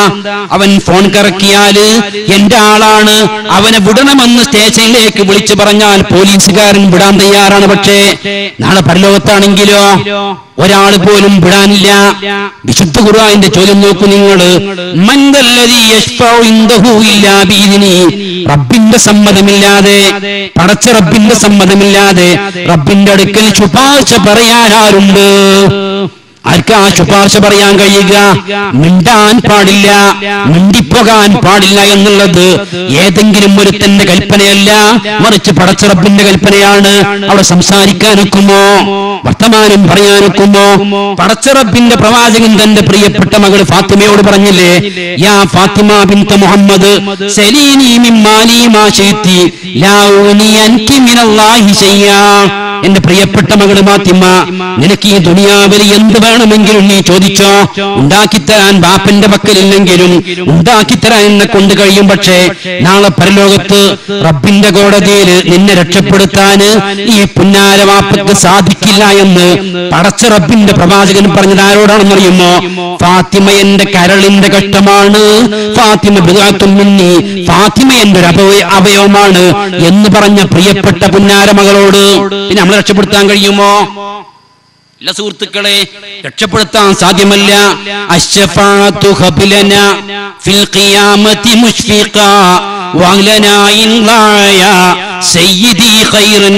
പ്രവാചകരെ നിങ്ങളുടെ ശുപാർശ എങ്ങാനും ഇല്ലെങ്കിൽ രക്ഷപ്പെടാൻ ഞങ്ങളെ കൊണ്ട് സാധ്യമല്ല നബിയെ എന്ന് അള്ളാന്റെ റസൂലിനോട് പറയുന്ന പറച്ചിലുണ്ടല്ലോ. പടച്ച റബ്ബിന്റെ പ്രവാചകനോട് പറയുന്ന അപേക്ഷയുണ്ടല്ലോ. നടക്കാൻ പോകുന്ന കാര്യമല്ല. നടക്കാൻ പോകുന്ന കാര്യമല്ല. ഉണ്ടാവുകയില്ല. പ്രിയപ്പെട്ട മകൾ ഫാത്തിമയെ പോലും രക്ഷപ്പെടുത്താത്ത പ്രവാചകൻ രക്ഷപ്പെടുത്താൻ കഴിയാത്ത പ്രവാചകന് നമ്മളെ രക്ഷപ്പെടുത്താനൊക്കുമോ? നമ്മുടെ കാര്യത്തിൽ അദ്ദേഹം സംസാരിക്കുമോ? ഒന്ന് ആലോചിച്ച് നോക്കൂ നിങ്ങൾ. പിന്നെ അവിടെ മനുഷ്യന്റെ കർമ്മങ്ങൾ മാത്രം അന്നത്തെ അവസ്ഥ എന്താണെന്നറിയുമോ? രണ്ടേ രണ്ട് ആയത്തുകൾ ഞാൻ പറയാം. യൗമ യഫിറുൽ മറു മിൻ അഖി വഉമ്മിഹി വഅബി വസാഹിബതിഹി വബനി ലികുല്ലി ഇംറിഇൻ മിൻഹും യൗമൈദിൻ ശൗനൻ യൗനി മനുഷ്യൻ അവന്റെ കൂട്ടുകാരനെ വേണ്ട.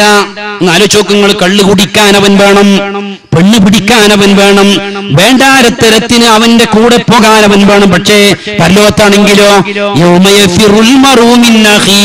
കൂട്ടുകാരിൽ നിന്ന് ഓടിപ്പോവുകയാണ്. അവൻ അവനെ വേണ്ട മാതാപിതാക്കളെ വേണ്ട. ഉമ്മനെ വേണ്ട ബാപ്പനെ വേണ്ട. അവന്റെ ഭാര്യയെ വേണ്ട. അവന്റെ കൂടെ ശയിച്ചവൾ കുട്ടിക്ക് ജന്മം നൽകിയവൾ. അവന്റെ എല്ലാ സ്വകാര്യതയും സൂക്ഷിച്ചിരുന്ന പെൺകുട്ടി. പക്ഷെ ഇന്നവൻ അവളെ വേണ്ട. അവൾക്കോ ഇങ്ങോട്ടും വേണ്ട. കാരണം എന്താണെന്നറിയുമോ. ഓരോരുത്തർക്കും അവനവന്റെ കാര്യങ്ങൾ തന്നെ നോക്കാൻ ധാരാളമുണ്ട്. എന്റെ കാര്യം നോക്കാണ്ടാവുമ്പോ ഞാൻ വേറൊരുത്തന്റെ കാര്യം നോക്കുവോ?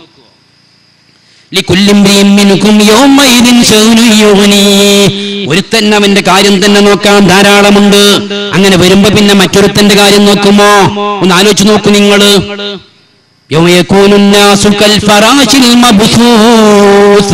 അള്ളാഹുത്തല പറയുകയാണ് പരലോകത്തിന്റെ അവസ്ഥ.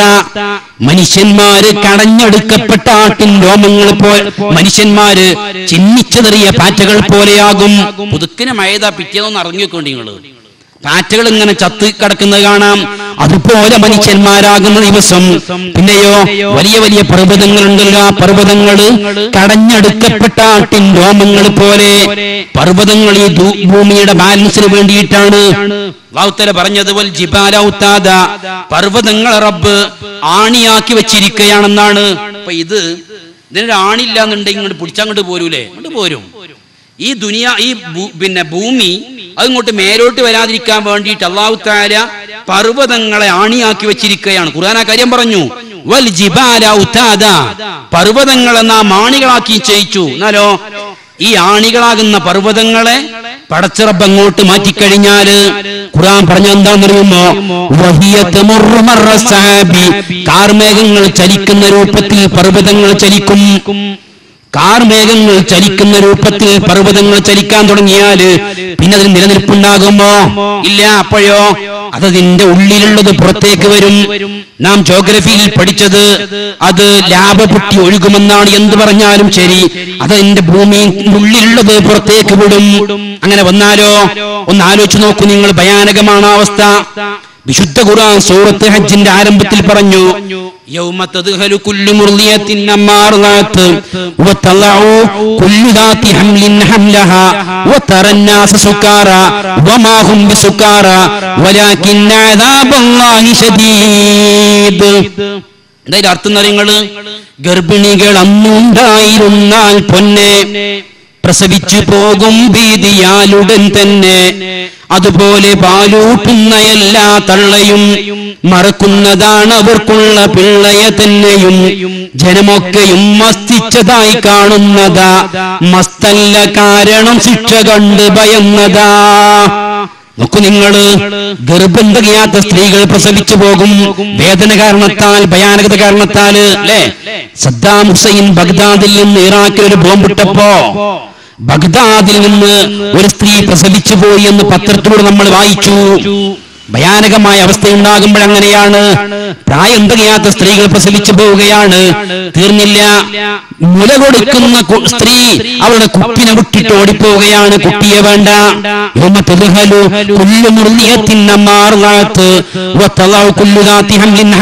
എന്നിട്ടോ? മനുഷ്യന്മാരെങ്ങനെയാണെന്നറിയുമോ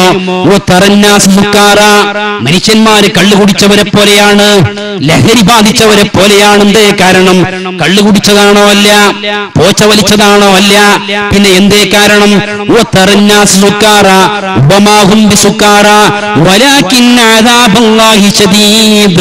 പടച്ചിറപ്പിന്റെ ശിക്ഷ കഠിനമാണ്. ശിക്ഷ കാരണത്താൽ പേടിച്ചു പറച്ചു പോയതാണ്. നിന്നിട്ട് നിൽപ്പ് നിൽപ്പുറക്കുന്നില്ല കാലുറക്കുന്നില്ല.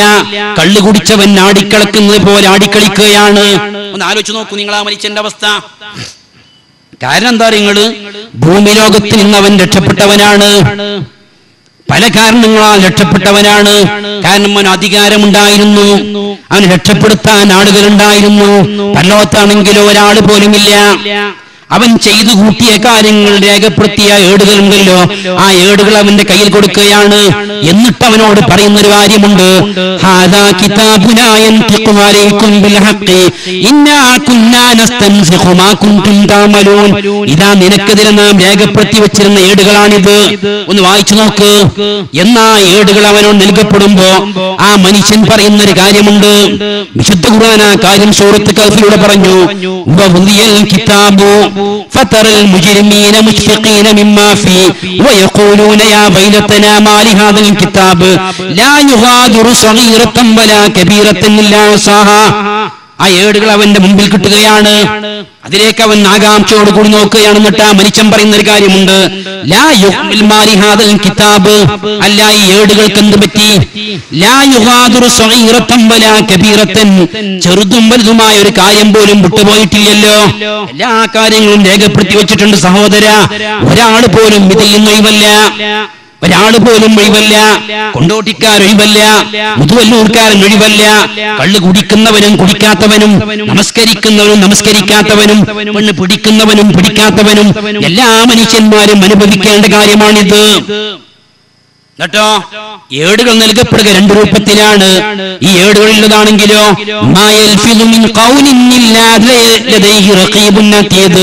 മനുഷ്യൻ സംസാരിക്കുന്ന എല്ലാ കാര്യങ്ങളും പ്രവർത്തിക്കുന്ന എല്ലാ കാര്യങ്ങളും രേഖപ്പെടുത്തി വെക്കുന്ന ഏടുകളാണ്. ഇതാണ് കൊടുത്തിട്ട് അവനോട് പറയുന്നത്.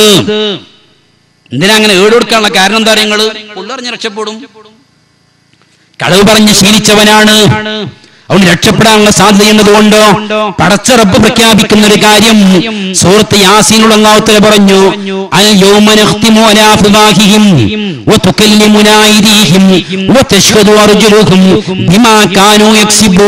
ഇന്ന് നാം അവന്റെ വായക്ക് സീല വെക്കുകയാണ്. വായ പൂട്ടും. വായക്ക് തുന്നലിടും. സംസാരിക്കാൻ കഴിയില്ല. പിന്നെ സംസാരിക്കുന്നതോ. അവന്റെ കൈകൾ നമ്മോട് സംസാരിക്കും. അവൻ സംസാരിക്കുന്നത് എന്റെ കാൽ സാക്ഷി നിൽക്കുകയും ചെയ്യും പുള്ളറിയാൻ പറ്റുമോ പുള്ളി പറയാൻ പറ്റുമെങ്കിൽ പറയാമായിരുന്നു. രക്ഷപ്പെടാൻ കഴിയുമായിരുന്നെങ്കിൽ രക്ഷപ്പെടാമായിരുന്നു. പക്ഷേ കഴിയില്ല സുഹൃത്തെ കഴിയില്ല. കൈ സംസാരിക്കുകയാണ് കാൽ സംസാരിക്കുകയാണ്. അള്ളാഹുവിന്റെ ശത്രുക്കളെ നരകത്തിലേക്ക് ഇങ്ങനെ ഒരുമിച്ച് കൂട്ടപ്പെടുകയാണ്. അവരെ തെളിച്ചു അങ്ങനെ അവരതിലേക്ക് കൊണ്ടുവരപ്പെട്ടാലോ? ഷഹിദാലെയും സമൂഹം ആ മനുഷ്യന്റെ കേൾവി അവർക്കെതിരെ സാക്ഷി പറയും. അവന്റെ കാഴ്ചകളും അവന്റെ തൊലികളും അവനെതിരെ സാക്ഷി പറയുകയാണ്. വിമാ കാനൂ അവർ പ്രവർത്തിച്ചിരുന്നതിന്. അങ്ങനെ കയ്യ് സംസാരിക്കുക. അവന്റെ കേൾവി സാക്ഷി നിൽക്കുക അവന്റെ തൊലി സംസാരിക്കുക അപ്പോഴോ? ആ സന്ദർഭത്തിൽ മനുഷ്യന്മാരോ ആ തൊലികളോട് ചോദിക്കുന്ന ഒരു ചോദ്യമുണ്ട്. ലിമ ശഹിത്തും മലയിന അല്ല തൊലികളെ? നിങ്ങൾ എന്തിനാണ് നമുക്കെതിരെ സാക്ഷി പറയുന്നത്? അല്ല നമ്മളൊക്കെ കിടക്കേണ്ടി വരൂലേ? അതുകൊണ്ട് എന്ത് നിങ്ങൾ നമുക്കെതിരെ സാക്ഷി പറയണം? ആ സന്ദർഭത്തിൽ തൊലികൾ പറയുന്ന കാര്യം അള്ളാഹുത്തേല പ്രഖ്യാപിക്കുകയാണ്. ഇന്ന് പടച്ചുറപ്പ് എല്ലാവരെ കൊണ്ടും സംസാരിപ്പിക്കുകയാണ്. മിണ്ടാതിരിക്കാൻ കഴിയുന്നില്ല. മിണ്ടാതിരിക്കാൻ കഴിയുന്നില്ല. സംസാരിപ്പിക്കുകയാണ് റബ്ബ്. അതുകൊണ്ട് സംസാരിച്ചു പോവുകയാണ്. ആലോചിച്ച് നോക്കൂ നിങ്ങൾ.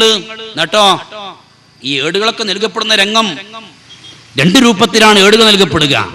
ഒന്ന് വലത് കയ്യിലാണ് അവർ സ്വർഗത്തിന്റെ ആളുകളാണ്. വലത് കൈയിൽ ഏടുവ നൽകപ്പെടുന്ന ആളുകൾ സ്വർഗത്തിലൂടെ ചുറ്റിക്കറങ്ങുമെന്നാണ്. എന്നിട്ട് അവർ പറയും അത്രേ കിതാബിയ. ഇതാ എന്റെ ഏടുകൾ ഇതാ ഒന്ന് വായിച്ചു നോക്ക്. കാരണം എന്താണെന്നറിയുമോ? ഒരു വിചാരണ ഉണ്ടാകുമെന്ന് ഞാൻ പേടിച്ചിരുന്നു. ഞാൻ കണക്ക് കൂട്ടിയിരുന്നു. എനിക്കറിയാമായിരുന്നു. ഞാൻ ഇവിടെ വെച്ച് ചെയ്യുന്ന കാര്യങ്ങൾക്ക് ഞാൻ മറുപടി പറയേണ്ടി വരുമെന്നുള്ള ബോധം എനിക്കുണ്ടായിരുന്നു. അതുകൊണ്ട് ഞാൻ എന്റെ ജീവിതം ക്രമപ്പെടുത്തിയിരുന്നു. ആ മനുഷ്യൻ പറയുന്ന എസ് എസ് എൽ സിക്ക് ജയിക്കണ കുട്ടിയും ജയിക്കാത്ത കുട്ടിയും. ജയിച്ച കുട്ടി എന്താ ചെയ്യാ? ആ സർട്ടിഫിക്കറ്റ് കൊണ്ടുവരും ബാപ്പനടുക്കിലേക്ക് നോക്കിപ്പാ ഞാൻ ജയിച്ചിക്കണ് പറഞ്ഞാണ്ട് അല്ലേ? തോറ്റനാണെങ്കിലോ ഓനെ തലേന്ന് മരരിക്ക് വിരുന്നേക്കും. ഓനെ കാണാനല്ല അവയ്ക്ക്.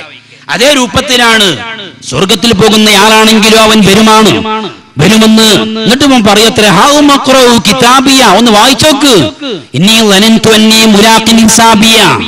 കാരണം ഞാൻ ഒരു വിചാരണ ഉണ്ടാവും. ഞാൻ പേടിച്ചിരുന്നു. എനിക്കറിയാമായിരുന്നു. ഞാൻ വേദ കേട്ടിരുന്നു. എന്നൊക്കെ പറഞ്ഞ ശരിയാണ്. ഖുർആൻ ആ കാര്യം പറഞ്ഞിട്ടുണ്ട്. എന്നൊക്കെ എനിക്ക് ബോധമുണ്ടായിരുന്നു. അതുകൊണ്ട് ഞാൻ എന്റെ ജീവിതം ക്രമപ്പെടുത്തിയിരുന്നു. എന്നാലോ രണ്ടാമത്തെ വിഭാഗമുണ്ട്.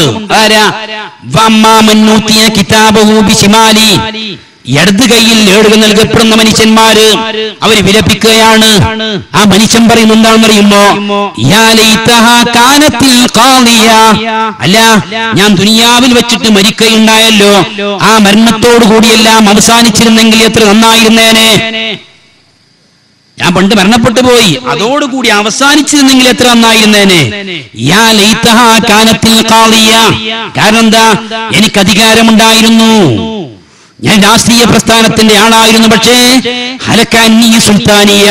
എന്റെ അധികാരം എനിക്ക് ഉപകരിച്ചില്ല ഇന്ന് എന്റെ അധിക- അധികാരം ഇവിടെ വില പോകുന്നില്ല. മാത്രമല്ല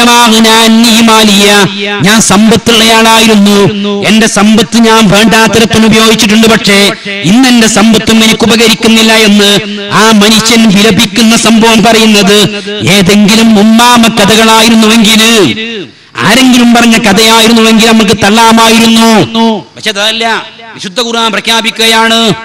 സത്യാകാതിരിക്കില്ലല്ലോ കൃത്യമാണ്. നൂറേ ബൈ നൂറ് കൃത്യമാണ് കറക്റ്റാണ് സത്യമാണ്. അപ്പയോ അനുഭവിക്കാനുള്ളതാണ്. നമ്മൾ ആലോചിച്ചു കൊന്നിട്ടോ ഇപ്പൊ ഇങ്ങനെ വിലപിക്കുന്ന സന്ദർഭത്തിൽ പടച്ചുറപ്പിന്റെ മറുപടിയാ. പിടിക്കവനെ. നരകത്തിലേക്ക് എറിയ്. എന്നിട്ടോ സിൽസിലത്തിൽ 70 മുഴം വലുപ്പമുള്ള ചങ്ങലയിൽ നീ അവനെ ബന്ധിപ്പിക്കുക അല്ലെങ്കിൽ തന്നെ നരകം ആയിക്കൂടെ ഒരു ചങ്ങലയും. പുറത്തേക്ക് വരാൻ കഴിയോ? ഇല്ല. ഇത് ഓരോ മനുഷ്യനും അനുഭവിക്കേണ്ട കാര്യമാണ്. വെച്ചിട്ടുണ്ടെങ്കിൽ മരണം അതിനുശേഷമുള്ള ഒന്നുകിൽ സ്വർഗം അല്ലെങ്കിൽ നരകം അല്ലേ? നമുക്കറിയാം. മൂന്ന് പിന്നെ രൂപമാണ് ആദ്യമായിട്ട് ഉണ്ടാവുന്ന പരലോകത്തിൽ. ഒന്നുകിൽ സ്വർഗം അല്ലെങ്കിൽ നരകം. മൂന്നാമത്തത് സ്വർഗത്തിന്റെയും നരകത്തിന്റെയും ഇടയിലുള്ള അഹ്റാഫ് എന്ന് പറയുന്നൊരു സ്ഥലം. ഖുറാനിലെ ഏഴാം അധ്യായത്തിന്റെ പേര് അഹ്റാഫ് എന്നാണ് സ്വർഗത്തിന്റെയും നരകത്തിന്റെയും ഇടയിൽ ഉയർന്നു നിൽക്കുന്ന സ്ഥലം. നന്മയും തിന്മയും തുല്യമായ ആൾക്കാരായിരിക്കും അത്ര അവിടെ ഉണ്ടാവുക. അവരെ പിന്നെ അവസാനം സ്വർഗത്തിലേക്ക് തന്നെ വിടുന്ന. അത് കഴിഞ്ഞാലോ ജന്ന. പിന്നെ ഒരു വിഭാഗം സ്വർഗത്തിലേക്കാണ്. രണ്ടാമത്തെ വിഭാഗം നരകത്തിലേക്കുമാണ്. മൂന്നാമത്തെ ഒരു വിഭാഗം അവിടെ ഇല്ല. ഒന്നുകിൽ സ്വർഗത്തിലേക്കാണ് അല്ലെ നരകത്തിലേക്കാണ്. ഒന്ന് ആലോചിക്ക് സുഹൃത്തെ നമ്മൾ സ്വർഗത്തിലേക്ക് ക്യൂ നിൽക്കുന്ന വിഭാഗത്തിലായിരിക്കോ നമ്മൾ ഉണ്ടാവുക എങ്കിൽ അലഹമില്ല അതല്ല നരകത്തിലേക്ക് ക്യൂ നിൽക്കുന്ന വിഭാഗത്തിലാണ് എന്റെയും നിങ്ങളുടെയും സ്ഥാനമെങ്കിൽ ആ മനുഷ്യന്റെ അവസ്ഥ ഒന്ന് ആലോചിച്ച് നോക്കൂ. നിങ്ങൾ കഷ്ടമല്ലേ? തീർച്ചയായും കഷ്ടമാണ്. ആരും കുറ്റം പറഞ്ഞിട്ട് കാര്യം ഉണ്ടാവില്ല കള്ളുകുടിക്കാൻ എന്റെ കൂടെ വന്നിരുന്നത് എന്റെ കൂട്ടുകാരനായിരുന്നു. അതുകൊണ്ട് റബ്ബേ ഞാൻ ഇങ്ങനെ നശിക്കാനുള്ള കാരണം എന്റെ കമ്പനിയായിരുന്നു എന്റെ ഗേങ്ങായിരുന്നു എന്റെ കൂട്ടുകാരായിരുന്നു എന്ന് പറയുമ്പതുകൊണ്ട് എനിക്ക് നൽകുന്നതിനേക്കാളേറെ ഇരട്ടി ശിക്ഷ റബ്ബേ നീ അവർക്ക് നൽകണമെന്ന് പറയുമ്പോ രാജാതി രാജനായ റബ്ബിന്റെ ഒരു മറുപടി ഉണ്ട് സുഹൃത്തെ. അവന് മാത്രമല്ലോടോ ഇരട്ടി ശിക്ഷയുള്ളത്. എല്ലാവർക്കും ഇരട്ടി തന്നെയാണ്. ഖുർആൻ പറയാ. ഓരോരുത്തർക്കും ഇരട്ടിയാണ്. അപ്പൊ ഒന്നുകിൽ സ്വർഗമാണ് അല്ലെങ്കിൽ നരകമാണ്. ഇതല്ലാത്ത മൂന്നാമത്തെ ഒരു ലോകമല്ല സ്വർഗമാണെങ്കിൽ അലഹമില്ല നരകമാണെങ്കിലോ അത് ലഭിക്കാൻ പാടില്ല. ആ സ്വർഗം ലഭിക്കുന്നതിന് വേണ്ടിയിട്ടാണ് നാം പണിയെടുക്കുന്നത്. അതിനെ പണിയെടുക്കേണ്ടത് അതിന് തന്നെയാണ്. നരകത്തേക്കാണെങ്കിൽ ഒരു പണിയില്ല. നിഷ്കാരം വേണ്ട നോമ്പ് വേണ്ട. കുത്തിരുന്നാ മതി കൊണ്ടുപോയിക്കോളും. കാത്തു കൊടുക്കണ്ട. വേല കേൾക്കാൻ പോവണ്ട. സംസാരിക്കേണ്ട ദിക്കറുകൾ ചെല്ലണ്ട. പ്രാർത്ഥിക്കേണ്ടതില്ല നമസ്കരിക്കേണ്ടതില്ല. ആരാധനപരമായ കാര്യങ്ങൾ അതൊക്കെ ഉണ്ടോ? ആ കാര്യങ്ങളൊന്നും ചെയ്യേണ്ടതില്ല. നരകത്തിലേക്കാണെങ്കിൽ സ്വർഗത്തിലേക്കാണെങ്കിലോ? നല്ല പണിയാ.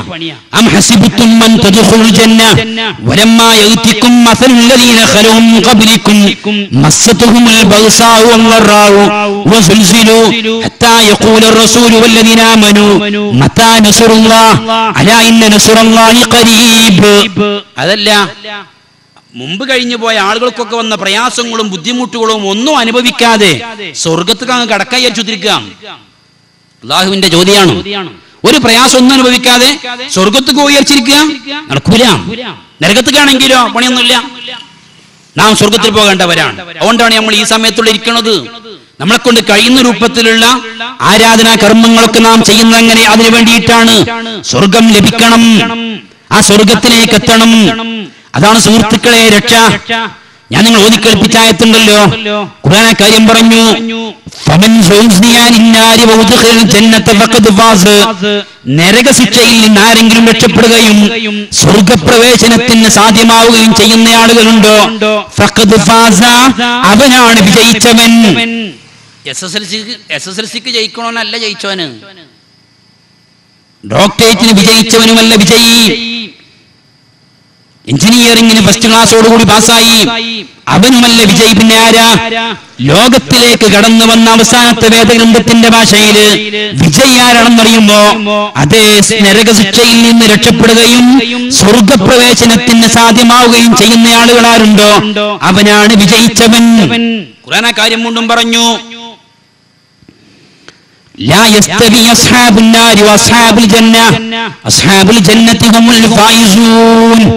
നരകക്കാരും സ്വർഗക്കാരും സമമല്ല.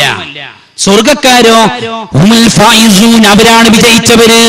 ആ വിജയുള്ള കൂട്ടത്തിൽ നമ്മൾ പെടണം. ഇതൊക്കെ ഉറപ്പാ. നിർബന്ധമായിട്ട് നമ്മൾ അനുഭവിക്കേണ്ട കാര്യമാണ് അല്ലേ? സത്യനിഷേധികളായ മനുഷ്യന്മാര് പറയൂ പറഞ്ഞു നമ്മൾ എന്തായാലും ഒരിക്കലും ഇനി പുനർജീവിക്കാൻ പോണില്ല. നിങ്ങൾക്കറിയൊരു സംഭവം? സുഹൃത്ത് യാസീനിലെ അവസാന തായത്തിറങ്ങാൻ എന്നുടങ്ങുന്ന ഈ ആയത്തിറങ്ങാൻ ഒരു കാരണമുണ്ട്. ഉമയ്യത്ത് ഖലഫ് മുപ്പരിങ്ങനെ വരിക മുത്തനബിന്റെ അടുക്കലേക്ക് വസല്ലം അദ്ദേഹത്തിന്റെ കയ്യിൽ ഒരു നുരുമ്പിയ എല്ലിന്റെ കഷ്ണുണ്ട് അത് മുപ്പര് കയ്യിലിട്ടിട്ട് ഇങ്ങനെ പൊടിച്ച് എന്നിട്ട് മുത്തനബിന്റെ മുഖത്തേക്ക് അങ്ങനെ ഊതിയത്. പ്രവാചകന്റെ മുഖത്തേക്ക് പൊടിപടലങ്ങളായപ്പോ അള്ളാൻ റസൂൽ മുഖം തടവി. എന്നിട്ട് ഉമയ്യത്തുന ഖലഫ് ചോദിച്ചു യാ മുഹമ്മദ്. അള്ളാഹു തേര ഇതിനെ വീണ്ടും പുനർജീവിപ്പിക്കുമെന്നാണോ നീ വാദിക്കുന്നത്? പ്രവാചകൻ പറഞ്ഞു അതയാൾ തന്നെയാണ് ഞാൻ പറയുന്നത്. നോക്കൂ നിങ്ങൾ. ഈ സന്ദർഭത്തിലാണ് ഈ ആയത്തിറങ്ങുന്നത്.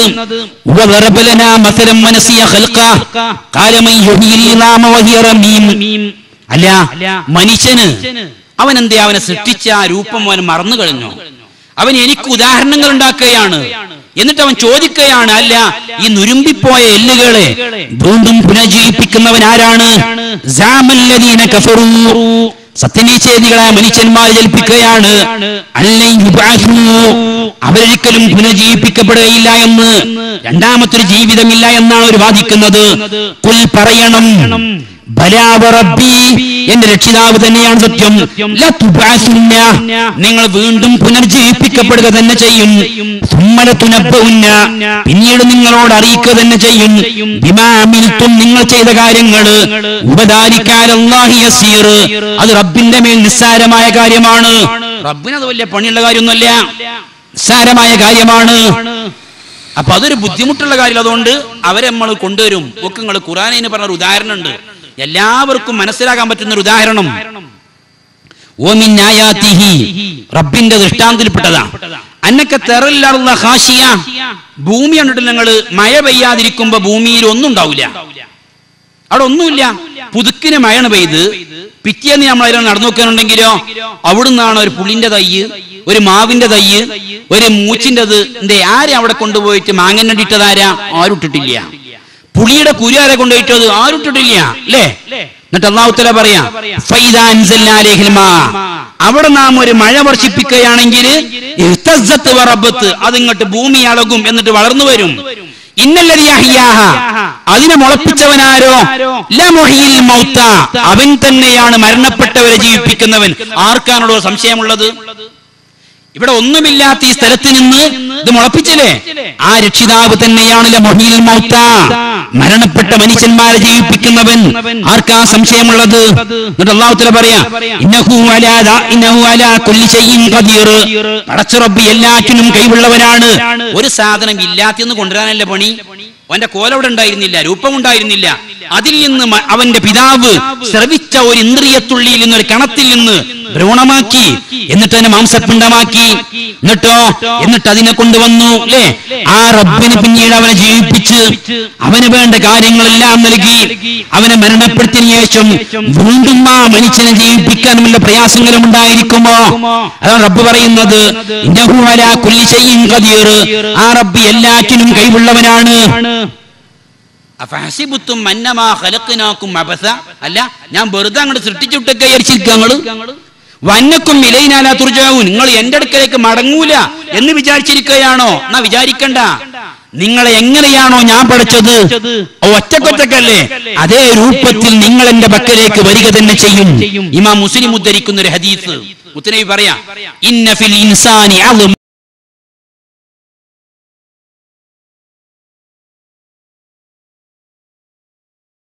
നിങ്ങൾ എന്റെ പക്കലേക്ക് വരിക തന്നെ ചെയ്യും. ഇമാ മുസ്ലിം ഉദ്ധരിക്കുന്ന ഒരു ഹദീസ്. മുത്തനബി പറയാ ഇൻസാനി മനുഷ്യനിൽ ഒരു എല്ലുണ്ട്. അത് മണ്ണിൽ കൊണ്ടുപോയി വെച്ചാൽ ഒരിക്കലും ആ മണ്ണാ എല്ലിനെ തിന്നില്ല. നേരത്തെ ഞാൻ പറഞ്ഞു മണ്ണ് കൊണ്ട് വെച്ചിട്ടുണ്ടെങ്കിൽ ഉണ്ടല്ലോ ഞങ്ങൾ നമ്മൾ ഒക്കെ നാട്ടിലുണ്ട് കണ്ണൂക്കനുണ്ടൊരു പരിപാടി. ആരെങ്കിലും മരണപ്പെട്ടാൽ മൂന്നാം ദിവസം പള്ളർച്ച് കുലാബിണ്ടാക്കി കുടിച്ച. ഇത്ര നാണല്ലാത്ത വർഗം മനുഷ്യന്മാരല്ലാതെ ആരും ഉണ്ടാവില്ല. ബാപ്പ മരിച്ച ബാപ്പാന്റെ പേരിൽ കുലാബിണ്ടാക്കി കുടിക്കുന്ന ഒരു അവസ്ഥ ആലോചിച്ച് അടിയന്തരം പേര് കേട്ടാൽ തന്നെ അറിയാം. മറ്റൊരു കിട്ടിയ ചാവടിയന്തരം. ഇവിടെ ഒന്നും ഉണ്ടാവൂല. പക്ഷെ നമ്മൾ ആലോചിച്ച് നോക്ക്. എന്നിട്ട് എന്താ കണ്ണൂക്ക് സംഭവം എന്ന് കണ്ണു കണ്ണ് പോക്കുന്ന. കുഴി കൊണ്ട് കുഴി കൊണ്ടു വെച്ചിട്ടുണ്ടെങ്കിൽ അവന്റെ കണ്ണ് പോണ ഈസ. അന്ന് ഇവിടെ പള്ളറച്ച് ബാറാക്കി കുരാവി ഉണ്ടാക്കി കുടിച്ച നമ്മൾ. മനുഷ്യവർഗത്തിനല്ലാതെ മറ്റൊന്ന് കാണുക സാധ്യമല്ല. കണ്ണുപോയി പക്ഷേ എന്തു തന്നെ നശിച്ചാലും ശരി അവയിൽ ഒരു എല്ലുണ്ട്. ഇമാ മുസ്ലിം ഉദ്ധരിക്കുന്ന ഹദീസാണ്. ആ എല്ലിനൊരിക്കലും മണ്ണ് തിന്നുകയില്ല. എത്ര വന്നാലും നശിക്കയില്ല. പറഞ്ഞു അതിൽ നിന്നാണ് ആ മനുഷ്യനെ കിയാമെന്നാൾ പടച്ചുറപ്പ് കൊണ്ടുവരിക. ആ ഒരിക്കലും നശിക്കാത്ത ആ എല്ലിൽ നിന്ന് പടച്ചറബവനെ ഖിയാമെന്നാൾ കൊണ്ടുവരികയാണ്. സഹാബത്ത് ചോദിക്കുകയുണ്ടായി അയ്യു നബിയെ ആ ഒരിക്കലും നശിക്കാത്ത എല്ലേതാണ് അതിൽ നിന്നാണ് ഖിയാമെന്നാൾ വീണ്ടും പുനജീവിപ്പിക്കുന്നു പറഞ്ഞില്ലേ? ആ എല്ലേതാണ് നബിയെ? പ്രവാചകൻ പറഞ്ഞു ആജബുൽ സനബ് വാൽക്കുറ്റിയാണ് നമ്മുടെ പിൻഭാഗത്ത് കാണുന്ന എല്ലിന്റെ അവസാനത്തെ ഭാഗം. ആ എല്ലൊരിക്കലും നശിക്കയില്ല എന്നാ. എന്നിട്ട് നിങ്ങൾ കൊല്ലക്കണക്കിന് മരണപ്പെട്ട ആളും പിന്നെ കേസ് ഉണ്ടായിട്ടുണ്ടെങ്കിൽ കബറ് മാന്തലില്ലേ? കുഴി മാന്തലുണ്ട് എന്തിനാ? ആ എല്ലിട്ടാൻ വേണ്ടിയിട്ട്. എന്നിട്ട് അവനെ കണ്ടുപിടിക്കും. അപ്പൊ നമ്മൾ അതിൽ നിന്ന് പുനർജീവിപ്പിക്കപ്പെടും എന്നുള്ള കാര്യം തീർച്ചയാണ്. എന്നിട്ടോ ഞാൻ നേരത്തെ പറഞ്ഞു അവിടെ രക്ഷപ്പെടാനുള്ള ഒരു മാർഗമല്ല അതൊന്നും രക്ഷപ്പെടുത്താനുണ്ടാവില്ല.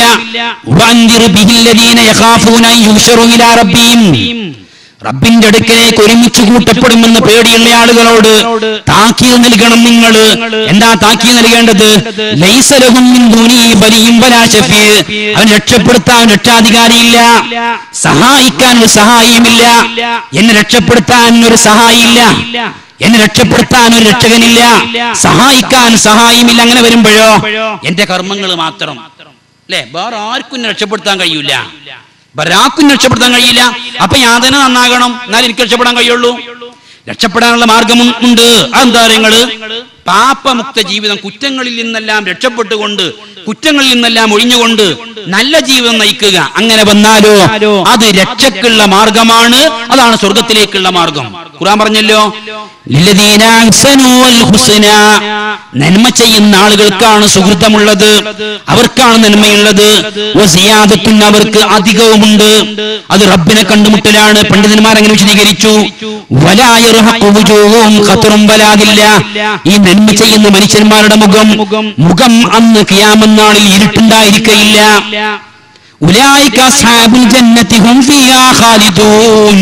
അവർ സ്വർഗവാസികളാണ്. അവരതിൽ ശാശ്വതന്മാരാണ്. എന്നാൽ തെറ്റുകൾ ചെയ്യുന്ന മനുഷ്യന്മാരാണെങ്കിലോ? തെറ്റിനുള്ള പ്രതിഫലം അതിന് തത്തുല്യമായതാണ്. അവർ അപമാനമായിരിക്കും ആ മനുഷ്യന്മാരെ പിടികൂടുക. അവർ രക്ഷപ്പെടുത്താൻ രക്ഷാധികാരി ഉണ്ടാവില്ല. സഹായിക്കാൻ ഒരാൾ പോലും ഉണ്ടാവില്ല.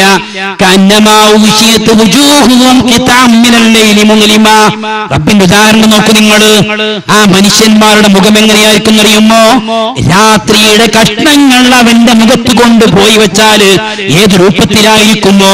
ആ രൂപത്തിലായിരിക്കും ആ മനുഷ്യന്റെ മുഖം. എവിടെ? പലോത്ത് വരുമ്പോ.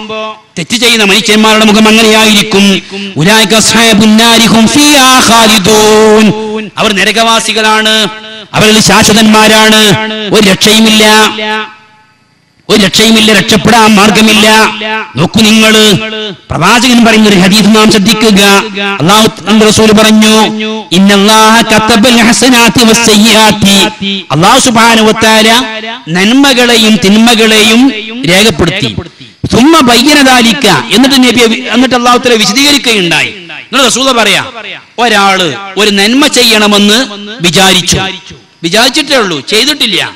എന്നാൽ അള്ളാഹു തആല അത് പരിപൂർണമായ ഒരു നന്മയായിട്ട് രേഖപ്പെടുത്തുന്ന. ഒരാൾ നന്മ ചെയ്യണമെന്ന് വിചാരിച്ചു. എന്നിട്ട് ആ നന്മ ചെയ്യുകയും ചെയ്താലോ? അത് പടച്ച റബ്ബ് ഒന്നല്ല പത്തരട്ടിയായിട്ട് അവൻ രേഖപ്പെടുത്തും. പത്തരട്ടി മാത്രമല്ല അതിനേക്കാൾ ഇരട്ടിയായിട്ട് അവൻ രേഖപ്പെടുത്തും. ഇനി ആരെങ്കിലും ഒരാൾ തിന്മ ചെയ്യുകയാണെങ്കിലോ തിന്മ ചെയ്യാൻ വിചാരിച്ചു എന്നിട്ട് ആ തിന്മ അവൻ ചെയ്തില്ല എന്നാൽ റബ്ബതൊരു നന്മയായിട്ട് രേഖപ്പെടുത്തും. ഒരു തിന്മ ചെയ്യാൻ അവൻ വിചാരിച്ചു എന്നിട്ട് ആ തിന്മ അവൻ ചെയ്തു എന്നാലോ അത് ഒരൊറ്റ തിന്മയായിട്ട് മാത്രമേ റബ്ബ് രേഖപ്പെടുത്തുകയുള്ളൂ. സുഹൃത്തെ ഞാൻ ഈ അനീത് പറഞ്ഞത് ഇമാം ബുഖാരി ഉദ്ധരിക്കുന്ന അനീത എന്നിട്ടും അങ്ങനെയൊക്കെയാണെങ്കിലും എന്നിട്ടും നരകത്തിൽ പോകേണ്ട ഒരു അവസ്ഥ എനിക്കും നിങ്ങൾക്കും ഉണ്ടാവുകയാണെങ്കിൽ അല്ലെ ഇങ്ങനെയൊക്കെ അള്ളാഹുത്തല ചെയ്തു കാര്യഗ്രഹം നന്മ വിചാരിച്ചിട്ടുള്ളൂ. അത് ചെയ്തിട്ടില്ല. എന്നാൽ പോലും കൂലിയാണ് വിചാരിക്കാനുണ്ടെങ്കിലോ പത്തിരട്ടി മുതൽ എത്ര ഇരട്ടി വരെ പ്രതിഫലം. തിന്മ ചെയ്യണമെന്ന് വിചാരിച്ചു. ഒഴിവാക്കി. എന്നാ കൂലി? ഈ തിന്മ ചെയ്തു. ഒരു തെറ്റ് ഒരു തെറ്റ് മാത്രമേ രേഖപ്പെടുത്തുകയുള്ളൂ. എന്നിട്ടും അങ്ങനെയുള്ള ഒരുപാട് ഭാഗ്യങ്ങൾ ഉണ്ടായിട്ടും നരകത്തിൽ പോകേണ്ട ഒരു അവസ്ഥ സുഹൃത്തെ നമുക്ക് ഓരോരുത്തർക്കും ഉണ്ടാവുകയാണെങ്കിലോ അപകടമായിരിക്കും. തിന്മകളാണ് മനുഷ്യന്മാരെ നരകത്തിലേക്ക് എത്തിക്കുന്നത്. അവിടെ തിന്മകളെ തിന്മകളെ നമ്മൾ സൂക്ഷിക്കണം. തിന്മകൾ എന്ന് പറയുമ്പോഴോ? ധാരാളമുണ്ട്. ഒരു പ്രസംഗത്തിലൂടെ ഒരു ക്ലാസ്സിലൂടെ ഒന്നും പറയാൻ പറ്റുന്നതല്ല തിന്മകൾ. ഏറ്റവും വലിയ തിന്മേതാരങ്ങൾ ശിർക്കാണ്. പടച്ചറപ്പൊരിക്കലും പൊറുക്കില്ല എന്ന് പറഞ്ഞ പാപ്പം വിശുദ്ധ ഖുർആൻ നിങ്ങൾ ആവർത്തി വായിക്കുക. അള്ളാഹുത്താൽ ഒരിക്കലും പൊറുക്കില്ല എന്ന് പറഞ്ഞ പാപ്പം ശിർക്ക് മാത്രമാണ്. ഖുർആനിലെ നാലാം അധ്യായം സൂറത്തിൻ നിസായിലെ നാൽപ്പത്തിയെട്ട് നൂറ്റി പതിനാറായത്തുകൾ അള്ളാഹുത്തൽ അവനിൽ പങ്കു ചേർക്കുന്നൊരിക്കലും പൊറുക്കയില്ല. രണ്ടാമത്തെ ഒരു പാപം അങ്ങനെയില്ല. അള്ളാഹുത്തല പൊറുക്കില്ല എന്ന് പറഞ്ഞ പാപം രണ്ടാമത്തെ ഒരു പാപം അങ്ങനെയില്ല. അപ്പോഴോ അത് ചെറുക്ക് മാത്രമാണ്.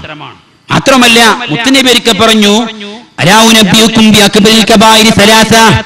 വൻ പാപങ്ങളിൽ നിന്ന് മൂന്നെണ്ണം ഞാൻ നിങ്ങൾ അറിയിക്കട്ടെയോ? നബിയെ അതേതാണ് ആ മൂന്ന് കാര്യങ്ങൾ? അള്ളാഹു റസൂൽ ഒന്നാമതായിട്ട് എണ്ണിപ്പറഞ്ഞത്. അള്ളാഹുവിൽ പങ്കു ചേർക്കലാണ് റബ്ബിൽ പങ്കു ചേർക്കലാണ് റബ്ബൊരിക്കലും പൊറുക്കാത്ത പാപം. മാത്രമല്ല സഹോദരങ്ങളെ ഇതൊരു വാശിയുടെ പ്രശ്നമല്ല. വെറുപ്പിന്റെ പ്രശ്നമല്ല. അള്ളാഹുത്തല പറയുകയാണ് ചുരുക്ക് ചെയ്യുന്ന മനുഷ്യന്മാരുടെ കർമ്മങ്ങൾ അള്ളാഹുത്തല സ്വീകരിക്കുകയില്ല. സൂറത്ത് അനാമിൽ പതിനെട്ടോളം പ്രവാചകന്മാർ അള്ളാഹുത്തല എണ്ണി പറഞ്ഞു. എന്നിട്ട് അള്ളാഹുത്തല പറയുകയാണ്.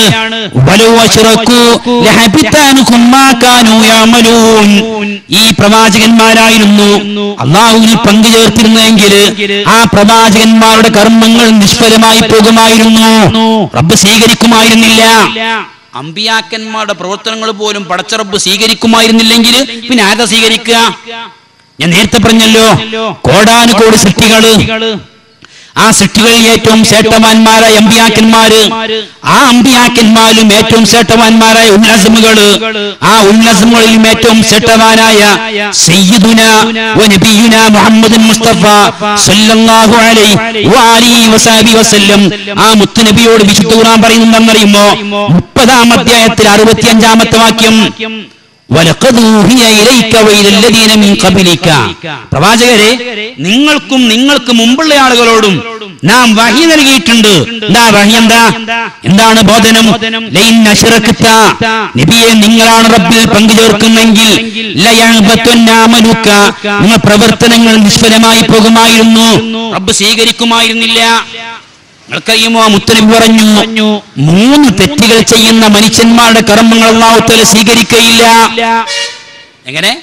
മൂന്ന് തെറ്റുകൾ ചെയ്യുന്ന മനുഷ്യന്മാരുടെ കർമ്മങ്ങൾ അള്ളാഹുത്തല സ്വീകരിക്കയില്ല. ഏതൊക്കെ അറിയങ്ങൾ? ഒന്ന് ചെറുക്കാണ് രണ്ടാമത്തത് മാതാപിതാക്കൾ ഉപദ്രവിക്കലാണ്. മൂന്ന് യുദ്ധക്കളത്തിൽ നിന്ന് പിന്തിരിഞ്ഞോടലാണ് ഈ മൂന്ന് തെറ്റുകൾ ഏതൊരു മനുഷ്യനുണ്ടോ ആ മനുഷ്യന്റെ ആരാധനാ കർമ്മങ്ങൾ റബ്ബ് സ്വീകരിക്കുകയില്ല. അപ്പൊ ശിർക്കാണ് മനുഷ്യന്റെ ആരാധന കർമ്മങ്ങൾ സ്വീകരിക്കൂല. നിസ്കരിച്ചിട്ട് കാര്യമില്ല. നോമ്പ് വെച്ചിട്ട് കാര്യമില്ല. ഹജ്ജ് ചെയ്തിട്ട് കാര്യമില്ല. ഒന്ന് ആലോചിച്ച് നോക്കൂ നിങ്ങൾ. അള്ളാൻ റസൂൽ പറഞ്ഞതാണ് പുള്ളി അറിയില്ലല്ലോ. മുത്തനബി പൊള്ളു പറയില്ലല്ലോ. മുത്തനബി പൊള്ളു പറയുമെന്ന് വിശ്വസിക്കുന്നവന്റെ സ്ഥാനം ഇസ്ലാമിന് പുറത്താണ്.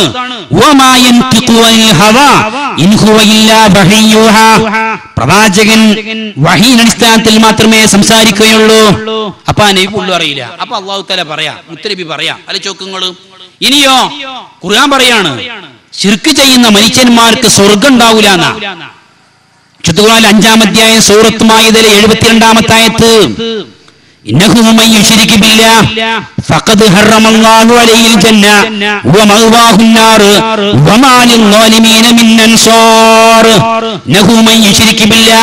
ആരാണോ റബ്ബിൽ പങ്കു ചേർക്കുന്നത്? ആ മനുഷ്യനുണ്ടല്ലോ. അവൻ അലയിൽ ജന്ന. അവന്റെ മേൽ സ്വർഗരോഗം നിഷിദ്ധമാണ്. സ്വർഗം ഹറാമാണ്. ഒക്കെ നിങ്ങൾ വ്യഭിചാര ഹറാമാണ്. കള്ളുകൂടി ഹറാമാണെന്നൊക്കെ പറഞ്ഞതുപോലെ സ്വർഗം ഹറാമ് ആരുടെ മേലിൽ? ചുരുക്ക് ചെയ്യുന്ന മനുഷ്യന്റെ മേലിൽ. സ്വർഗലോകം നിഷിദ്ധമാണ്. മാത്രമല്ല മുത്തനബിയുടെ ഷഫായത്ത് കിട്ടാത്ത ആളുകൾ ആരാണെന്ന് അറിയുമോ? ശിർക്ക് ചെയ്യുന്നവരാണ്. ശരിക്ക് ശ്രദ്ധിക്കണം നമ്മൾ ഇമാം ബുഖാരിയും മുസ്ലിം ഉദ്ധരിക്കുന്ന ഒരു ഹദീസാണ്. അള്ളാന്റെ ഹബി ഓടിപ്പിച്ചു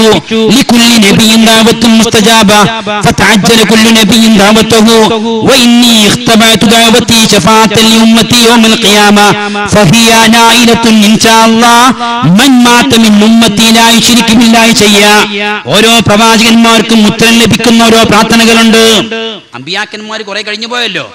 ആ അമ്പിയാക്കന്മാർക്കൊക്കെയും ഉത്തരം ലഭിക്കുന്ന ഓരോ പ്രാർത്ഥന ഉണ്ട് ആ അമ്പിയാക്കന്മാരൊക്കെ ആ പ്രാർത്ഥന പ്രാർത്ഥിച്ചു പോയി. പക്ഷേ ഞാനുണ്ടല്ലോ. ഞാനാണെങ്കിലും ആ പ്രാർത്ഥന പ്രാർത്ഥിച്ചിട്ടില്ല.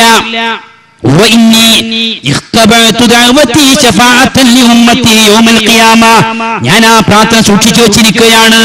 അത് ആർക്കാണെന്നറിയുമ്പോ ഫഹിയനായിരത്തു മൻ മാത മിൻ ഉമ്മത്തി ലാ യുശ്രികു ബില്ലാഹി ശയ്യാ എന്റെ സമുദായത്തിൽ നിന്ന് ശിർക്ക് ചെയ്യാതെ മരണപ്പെട്ടു പോകുന്ന ആളുകളുണ്ടോ? അവനത് കിട്ടുക തന്നെ ചെയ്യും. അപ്പൊ ചുരുക്കോ മുത്തനബിന്റെ ചപായത്തില്ല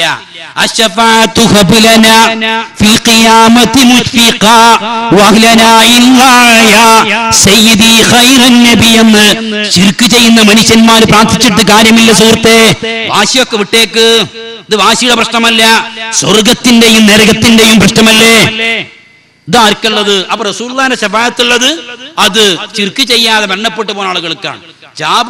റളിയല്ലാഹു പറഞ്ഞു നബിനോട് ചോദിച്ചു മൽ റസൂലുള്ളാഹ് നബിയെ അനിവാര്യമായും ലഭിക്കേണ്ട രണ്ട് കാര്യങ്ങൾ എന്തൊക്കെയാണ്? നിർബന്ധം കിട്ടേണ്ട രണ്ട് കാര്യം. എന്താ നബി പറഞ്ഞു ആരാണോ ചിർക്ക് ചെയ്യാതെ മരണപ്പെട്ടു പോണത്? അവൻ സ്വർഗത്തിലാണ് അനിവാര്യമായും കിട്ടേണ്ട കാര്യമാണ്. ആരാണോ ചെറുക്ക് ചെയ്തുകൊണ്ട് മരിക്കുന്നത്? അവൻ നരകത്തിൽ കിടക്കണം. അത് അനിവാര്യമായും ലഭിക്കേണ്ട കാര്യമാണ്. നിർബന്ധമാണ് ആ കാര്യം കട്ടായമാണ്. ഒക്കെ നിങ്ങൾ മുത്തനെ പറഞ്ഞതാണ്. ഇനിയോ ചില ആൾക്കാരുണ്ട്. ഇസ്ലാമിക ഭരണം കൊണ്ടുവരാൻ വേണ്ടി ശ്രമിക്കുന്ന ആൾക്കാർ. ഇവിടെ ഒന്നും ഉണ്ട് എനിക്ക് അറിയില്ല എവിടെ ഇല്ല. ഒന്നാണ്ടെണ്ണൊക്കെ ഉണ്ടാവുള്ളൂ. അവർക്ക് ഇതാ വിശുദ്ധ ഖുറാന്റെ താക്കിയത് ഇസ്ലാമിക ഭരണം കൊണ്ടുവരാൻ വിശുദ്ധ ഖുറാന്റെ കൽപ്പനയുണ്ട്. ഇരുപത്തിനാലാം അധ്യായം സൂറത്തുന്നൂൽ അൻപത്തിയഞ്ചാമത്തായത്ത് അള്ളാഹുവിനെ മാത്രം ആരാധിക്കുകയും പടച്ചിറപ്പിൽ മറ്റൊന്നിനെയും പങ്കുചേർക്കാതിരിക്കുകയും ചെയ്യുന്ന മുവഹിദുകളായ ഒരു സമുദായം ഉണ്ടാകുമ്പോ അവർക്ക് നാം ഇസ്ലാമിക ഭരണം തരാം. റബ്ബിന്റെ കൽപ്പനയാണത്. റബ്ബിന്റെ വാഗ്ദാനമാണ്.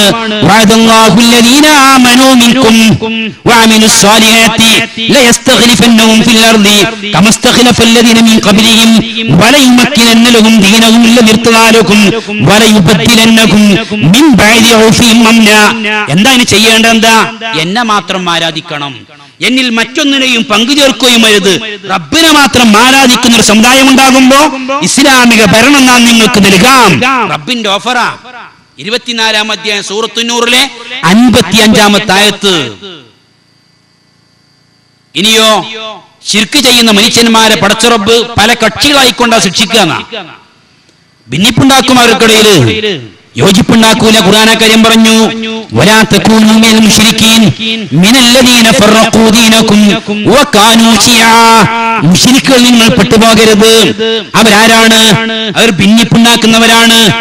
ഭിന്നിച്ചു പോകുന്നവരാണ്. അതിൽ നിങ്ങൾ ഒരിക്കലും പെട്ടുപോകരുത്. എന്താ ചിർക്ക് ചെയ്യുന്ന മനുഷ്യന്മാരെ പടച്ചുറപ്പ് പല കക്ഷികളായിക്കൊണ്ടായിരിക്കും ശിക്ഷിക്കുക. തീർന്നില്ല സുഹൃത്തെ ആലോചിക്കണം നമ്മൾ. ചിന്തിക്കേണ്ട കാര്യമുണ്ട്.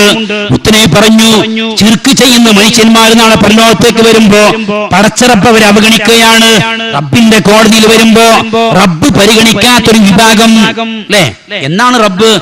ആകാശങ്ങളെ വലത് കൈയിലും ഏഴ് ആകാശങ്ങളെ വലതു കൈയിലും ഏഴ് ഭൂമികളെ ഇടത് കൈയിലും പിടി ചോദിക്കുന്നൊരു ചോദ്യമുണ്ട്. ഇന്നത്തെ അധികാരം എനിക്കാണ്. അയിന മുനൂക്കില്ല ഈ ഭൂമിയിലെ രാജാക്കന്മാരെവിടെ? അല്ല ഭൂമിയിലെ രാജാക്കന്മാരൊക്കെ എവിടെ പോയി? എന്ന് റബ്ബ് ചോദിക്കുന്ന ആ സന്ദർഭത്തിൽ റബ്ബ് അവഗണിക്കുന്ന വർഗം റബ്ബ് തിരിഞ്ഞു നോക്കാത്ത വർഗം ആരാണത്? ചെറുക്ക് ചെയ്യുന്ന മനുഷ്യന്മാര്. എന്റെ കൂടെ ആരെങ്കിലും ഒരാൾ എനിക്ക് മാത്രം ലഭിക്കേണ്ട കാര്യത്തിൽ ആരെങ്കിലും ഒരാളെ പങ്കു ചേർത്താൽ. ഞാൻ അവനെയും അവന്റെ ചിർക്കിനെയും ഞാൻ ഒഴിവാക്കി കളയും എനിക്കത് ആവശ്യമില്ല. ഞാൻ അതിനെ ചുറക്കായിമിനെ ചിർക്കി ഞാൻ ചിർക്ക് ചെയ്യുന്ന ആളുകളുടെ ചിർക്ക് ആവശ്യമില്ലാത്തവനാണ്. എനിക്ക് അതിന്റെ ആവശ്യമില്ല. റബ്ബ് പറയാ. അപ്പോഴോ അവഗണന മാത്രമാണ്. അപ്പൊ ചെറുക്കാണ് ഏറ്റവും വലിയ പാപ്പം എന്ന് പറഞ്ഞാൽ അത് ചെറുക്കാണ് അതിൽ ഒരിക്കലും നമ്മിൽ ഉണ്ടാകാൻ പാടില്ല. ഒരിക്കലും ഉണ്ടാകാൻ പാടില്ല. ഉണ്ടായിട്ടുണ്ടെങ്കിലോ? ആ മനുഷ്യന് സ്വർഗപ്രവേശനം സാധ്യമല്ല. ഇനി ചിർക്ക് ചെറുക്കില്ല വിചാരിച്ചോളി. മറ്റുള്ള പാപങ്ങളൊക്കെ ഉണ്ട്. എന്നാലോ ആ പാപങ്ങൾക്കുള്ള തെറ്റ് ആ തെറ്റിനുള്ള ശിക്ഷ അനുഭവിച്ചുകൊണ്ട് ഏതെങ്കിലും ഒരു കാലത്ത് സ്വർഗത്തിൽ പോകാമെന്നാണ് അഹുലുസുന്നത്തിയുള്ള ജമാഅത്തിന്റെ അഭിപ്രായം. അപ്പൊ എപ്പോഴെങ്കിലും ഒന്ന് സ്വർഗത്തിൽ പോകാം. ചിർക്ക് ചെയ്യത്ത മനുഷ്യനാണെങ്കിലോ ഇല്ല ഓന് സ്വർഗത്തില്ല തീരെ സ്വർഗമില്ല അഹുലുസുന്നത്തിന്റെ വീക്ഷണാണത് അഭിപ്രായമാണത്? അയത്തുകൾ കൊണ്ടും കൊണ്ടും തെളിവുള്ള കാര്യമാണ്. രണ്ടാമത്തെ പാപം കൊലപാതകം. അതൊരു തിന്മയാണ് അല്ലേ? ലോകം പണ്ട് കാലത്ത് പോലൊന്നല്ല നിസ്സാരമായ കാര്യങ്ങൾക്ക് വേണ്ടിയുള്ള കൊലപാതകം ഇന്നൊരു വിഷയമല്ലാതിരിക്കുകയാണ്. പത്രത്തിലൂടെ നമ്മൾ വായിക്കലുണ്ട്. അപ്പൊ അമ്മയ്ക്ക് തന്നെ ഇപ്പൊ തോന്നണില്ല. കാശ്മീരിൽ പത്തെണ്ണം കൊല്ലപ്പെട്ടു. പിന്നെ ഇറാഖിൽ ഇത്രണ്ണം കൊല്ലപ്പെട്ടു. ആർക്കേ ഒരു വേദനയില്ല നമുക്ക് അങ്ങനെ ആയിപ്പോയി ലോകം അല്ലേ?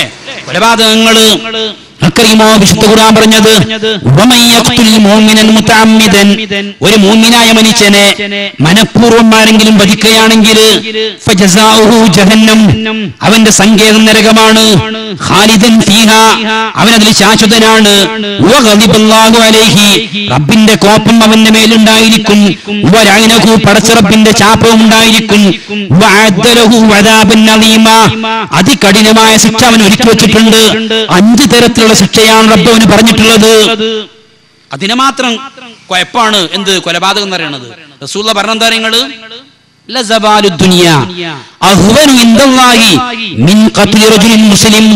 ഒരു മുസ്ലിമായ മനുഷ്യൻ കൊല്ലപ്പെടുക എന്ന് പറഞ്ഞാൽ അത് അതിനേക്കാൾ നിസ്സാരമായ കാര്യം എന്താണെന്നറിയുമ്പോ ഈ ലോകം മുഴുവനും നശിക്കലാണ്. ഈ ലോകം മുഴുവനും നശിക്കലാണ് പടച്ചിറപ്പിന്റെ അടുക്കൽ. ഒരു മുസ്ലിമായ മനുഷ്യൻ കൊല്ലപ്പെടുന്നതിനേക്കാളേറെ അപ്പൊ അതിനേക്കാളേറെ വിരലേതാണ് ഒരു മുസ്ലിം നശിക്കപ്പെടലാണ് പടച്ചറ കൊല്ലപ്പെടലാണ്. പടച്ചറപ്പിന്റെ അടുക്കൽ ഏറ്റവും ഗൗരവമുള്ള കാര്യം ലോകം നശിച്ചാലും വേണ്ടില്ല ഒരു മുസൽമാൻ കൊല്ലപ്പെടാൻ പാടില്ല. കബാലയത്തിന്റെ അത്ര വിലയാണ് ഒരു മുസൽമാനുള്ളത്. അതുകൊണ്ട് അവൻ കൊല്ലപ്പെടാൻ പാടില്ല. അല്ലേ? അതുകൊണ്ടാണ് മുത്തനൈ പറഞ്ഞെന്താ നിങ്ങൾ ആരെങ്കിലും ഒരാൾ ഒരു മനുഷ്യനെ കൊല്ലാൻ ആരെങ്കിലും ഒരാൾ ഏതെങ്കിലും രൂപത്തിൽ ഭാഗഭാക്കായിട്ടുണ്ടെങ്കിൽ ഒരു വാക്കിന്റെ പകുതി കൊണ്ടെങ്കിലും ആരെങ്കിലും ഭാഗമാക്കായാലോ നാളിൽ മനുഷ്യൻ വരിക എങ്ങനെയാണെന്ന് അറിയുമോ? കൊലയാളി വരിക. അവന്റെ രണ്ട് കണ്ണിന്റെയും ഇടയിൽ എഴുതി പിടിപ്പിച്ചിരിക്കും. ആയുസൊന്നും റഹ്മത്തില്ല. റബ്ബിന്റെ റഹ്മത്തിൽ നിന്ന് നിരാശയടഞ്ഞവൻ. റബ്ബിന്റെ റഹ്മത്ത് ഉണ്ടാവില്ല. റബ്ബിന്റെ റഹ്മത്തില്ലാതെ സ്വർഗത്തിൽ കയറാൻ കഴിയോ? ഇല്ല. മുത്ത് നബി പോലും പറഞ്ഞെന്താ നിങ്ങൾ? അള്ളാൻ റസൂൽ പോലും പറഞ്ഞത് ഒരു മനുഷ്യനും അവന്റെ കർമ്മങ്ങൾ കൊണ്ട് മാത്രം സ്വർഗപ്രവേശനം സാധ്യമല്ല. സഹാബാക്കൾ ചോദിക്കുകയുണ്ടായി തയ്യാ റസൂൽ നബിയെ നിങ്ങളും അപ്രകാരമാണോ? നിങ്ങൾക്ക് പോലും കർമ്മങ്ങൾ കൊണ്ട് സ്വർഗത്തിലെത്താൻ സാധിക്കുകയില്ലേ? പ്രവാചകന്റെ മറുപടി വരാന ഞാനും എനിക്ക് പോലും കർമ്മങ്ങൾ കൊണ്ട് മാത്രം സ്വർഗത്തിലെത്താൻ സാധ്യമല്ല ആര്? കാലിൽ നീര് വരുന്ന രൂപത്തിൽ നിന്ന് നമസ്കരിച്ച പ്രവാചകനില്ലേ? ആയിഷാറിയാഹുത്തലം ചോദിക്കുകയുണ്ടായ നബിയെ നിങ്ങൾ എന്തിനാ അങ്ങനെ പ്രയാസപ്പെടുന്നത്? കഴിഞ്ഞുപോയ പാപങ്ങൾ പൊറുക്കപ്പെട്ട നബിയല്ല താങ്കൾ വരാനിരിക്കുന്ന പാപങ്ങളും പൊറുക്കപ്പെട്ട നബിയല്ല താങ്കൾ പിന്നെ നിങ്ങൾ എന്തിനാ പ്രയാസപ്പെടണം? നബിയുടെ മറുപടി. ഞാൻ റബ്ബിന് നന്ദിയുള്ള അടിമയാകണ്ടേ. അങ്ങനെ പറഞ്ഞ പടച്ച റബ്ബിന്റെ പ്രവാചകൻ ആ പ്രവാചകന് പോലും സ്വർഗത്തിലെത്താനുള്ള കർമ്മങ്ങൾ ചെയ്യാൻ കഴിയില്ല എന്ന് പടച്ച റബ്ബിന്റെ പ്രവാചകൻ പറയുമ്പോ സഹോദരങ്ങളെ സഹോദരികളെ ഒന്ന് ആലോചിച്ച് നോക്കൂ നിങ്ങൾ നമുക്ക് എന്തായാലും എത്താൻ കഴിയില്ല. നമുക്ക് എന്തായാലും കർമ്മങ്ങൾ കൊണ്ട് മാത്രം സ്വർഗത്തിലെത്താൻ സാധ്യമല്ല. പിന്നെന്ത് വേണം മുത്തനബി പറയുകയാണ് പടച്ച റബ്ബിന്റെ അനുഗ്രഹം കൊണ്ട് അവന്റെ റഹ്മത്ത് കൊണ്ട് എന്നെ പൊതിഞ്ഞാലൊഴികെ. അപ്പൊ റബ്ബിന്റെ കാരുണ്യം ലഭിച്ചാലല്ലാതെ മുത്തനബിക്ക് പോലും സ്വർഗപ്രവേശനം സാധ്യമല്ല. അപ്പൊ റഹ്മത്തില്ലാത്ത മനുഷ്യന് ആരാ? കൊലപാതകം കൊലയാളി.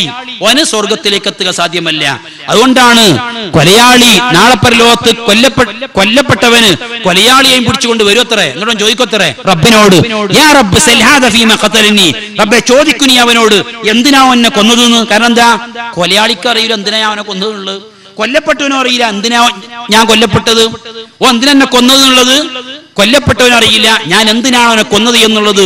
കൊലയാളിക്കും അറിയില്ല. അങ്ങനത്തെ ഒരു കാലഘട്ടം ഈ ലോകത്ത് വരാനുണ്ട്. അങ്ങനത്തെ ഒരു കാലഘട്ടം ഈ ലോകത്ത് വരാനുണ്ട്. റസൂള്ള പറഞ്ഞല്ലോ വല്ലദീ നഫ്സി എന്റെ ആത്മാവ് ഏതൊരുവന്റെ കയ്യിലാണോ അവനാണ് സത്യം? സമാനുൻ. മനുഷ്യന്മാർക്ക് ഒരു കാലഘട്ടം വരാനുണ്ട്. എന്താണത്?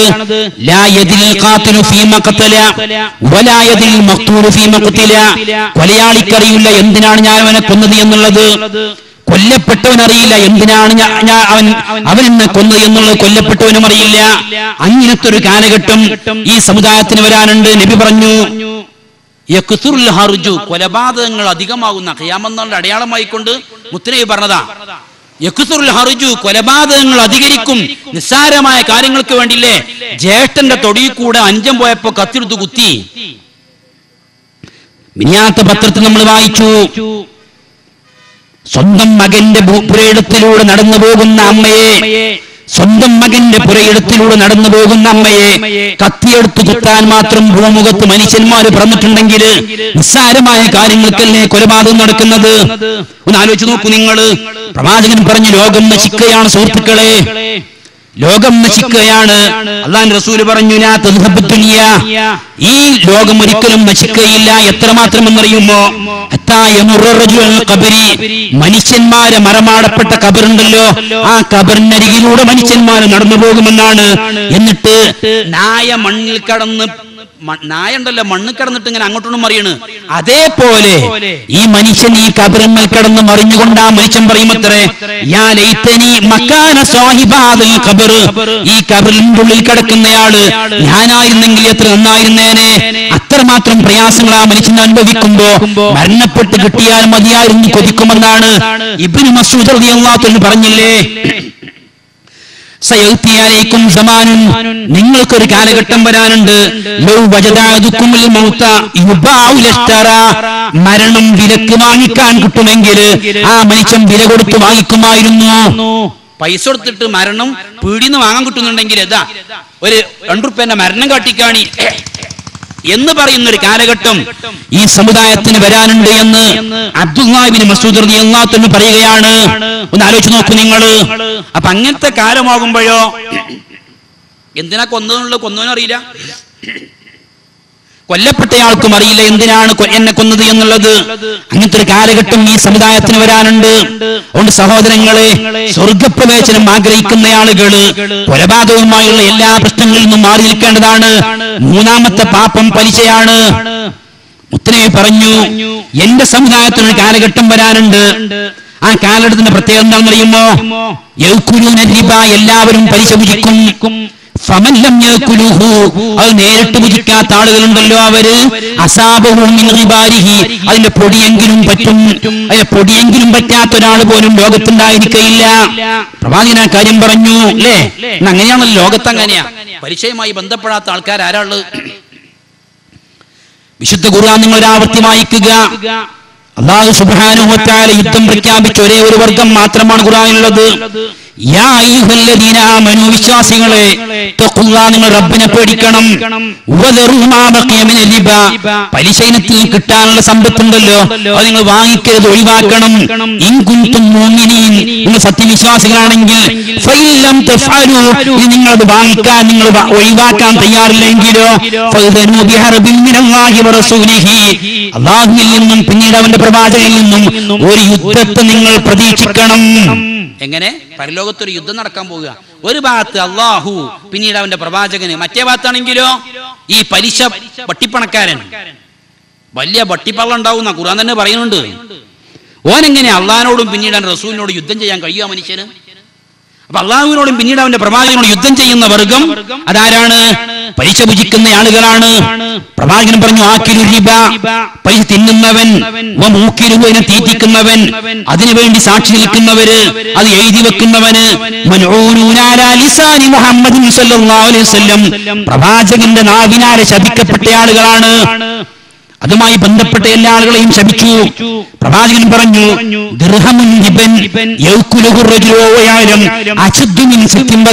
സനിയ അറിഞ്ഞുകൊണ്ടാരെങ്കിലും ഒരാൾ പരിശീലനത്തിൽ ഒരു ദീർഘം ഭുജിക്കുകയാണെങ്കിൽ ദീർഘം എന്ന് പറഞ്ഞാൽ ഇപ്പൊ നമ്മളെ വാശി പറഞ്ഞ ഒരു ഉറുപ്പ്യ.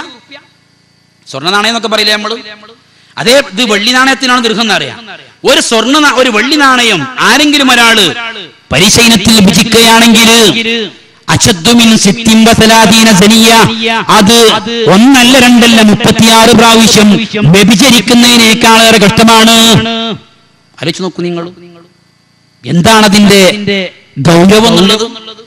റസൂൽ പറഞ്ഞു പലിശക്ക് എഴുപത് ചില്ലാനം വകഭേദങ്ങളുണ്ട് എഴുപത് ചില്ലാനം രൂപങ്ങളുണ്ട്. എഴുപത് ചില്ലാന രൂപങ്ങൾ ഉണ്ടാകുമ്പോഴോ എഴുപത് ചില്ലാനം ശിക്ഷകളും ഉണ്ടാകുമല്ലോ എന്നിട്ട് റസൂൽ പറയുകയാണ് എന്നാൽ അതിൽ നിന്ന് ഏറ്റവും നിസ്സാരമായ രൂപം ഏതാണെന്നറിയുമോ? അൻ തൻകിയ റജുലു സ്വന്തം മാതാവിനെ വ്യഭിചരിക്കുന്നതിന് തുല്യമാണ്. യാ യാ ഏറ്റവും താഴ്ന്ന പടിയിലുള്ള ശിക്ഷ സ്വന്തം മാതാവിനെ വ്യഭിചരിക്കുന്നതിന് തുല്യമാണ്.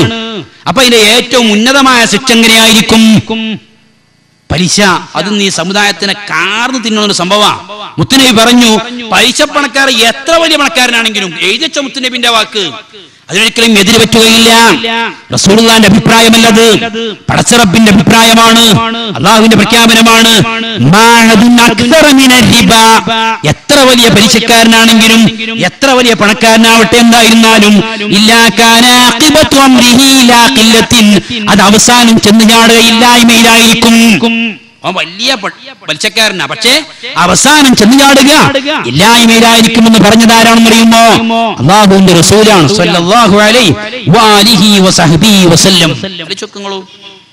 ഇനിയോ? മുത്തലി പറയുന്ന ഒരു കാര്യമുണ്ട്. പലിശ ഭുജിക്കുന്ന ആളുകൾക്ക് നാളെ പരലോകത്തോടെ കൊടുക്കുന്ന ശിക്ഷ എന്താ അറിയങ്ങൾ? രക്തത്തിന്റെ പുഴയിൽ ഇങ്ങനെ നീന്തിക്കൊണ്ടിരിക്കുക. രക്തത്തിന്റെ പുഴയിൽ നീന്തിക്കൊണ്ടിരിക്കുക. അള്ളാഹു അക്ബർ. നബി വസല്ലം ഓരോ ദിവസം നേരം വെളുക്കുമ്പോൾ നബി ചോദിക്കുന്ന ഒരു ചോദ്യം നിങ്ങൾ ഇന്നലെ രാത്രി വല്ല കിനാവും കണ്ടോ? അവ കണ്ട സാബകൾ കണ്ടിക്കണ അറിയും കണ്ടില്ലെങ്കിൽ കണ്ടിട്ടില്ല അറിയും. ഒരിക്കൽ നബി ചോദിച്ചു ഇന്നലെ രാത്രി നിങ്ങൾ ആരെങ്കിലും വല്ല കിനാവും കണ്ടുപോ അപ്പൊ അവർ പറഞ്ഞില്ല നബി ഞങ്ങൾ കണ്ടില്ല എന്നാ ഞാനൊരു കിനാവ് കണ്ടിട്ടുണ്ട്. റസൂള്ള പറയാം പ്രവാചകന്റെ കിനാവ് സ്വപ്നം യാഥാർത്ഥ്യമാണ്. അപ്പൊ നബി പറഞ്ഞു ചുരുക്കി പറയാൻ രണ്ട് മലക്കുകൾ എന്റെ അടുക്കലേക്ക് വന്നു. എന്നിട്ട് ആ മലക്കുകൾ എന്നോട് ആ മലക്കളുടെ കൂടെ വരാൻ വേണ്ടിയിട്ട് ആവശ്യപ്പെട്ടു. ഞാൻ അങ്ങനെ മുന്നോട്ട് പോയി. മുന്നോട്ട് പോയപ്പോൾ നിങ്ങൾ കണ്ട കാഴ്ച ഒരാൾ കടന്നുറങ്ങുകയാണ്. ആ കടന്നുറങ്ങുന്ന മനുഷ്യന്റെ അടുക്കൽ ഒരു മലക്ക് നിൽക്കുന്നുണ്ട്. ആ മലക്ക് ആ മലക്കിന്റെ കയ്യിലുള്ള പാറക്കല്ല് കൊണ്ട് ഈ മനുഷ്യന്റെ തലറിഞ്ഞു പൊട്ടിക്കുക. ഇത് കഥയല്ല കേട്ടോ. ഇമാം ബുഖാരി ധരിക്കുന്ന ഹദീസ. തലറിഞ്ഞു പൊട്ടിക്കുകയാണ്. തല ഈ കല്ലിങ്ങനെ ഇതിലൂടെ തുളച്ചിട്ട് മറ്റേ ഭാഗത്തൂടെ അങ്ങനെ പുറത്തേക്ക് വരിക. അപ്പൊ ഞാൻ ചോദിച്ചു മുത്തനെ പറയാ എനിക്ക് സഹിക്കാൻ കഴിഞ്ഞില്ല.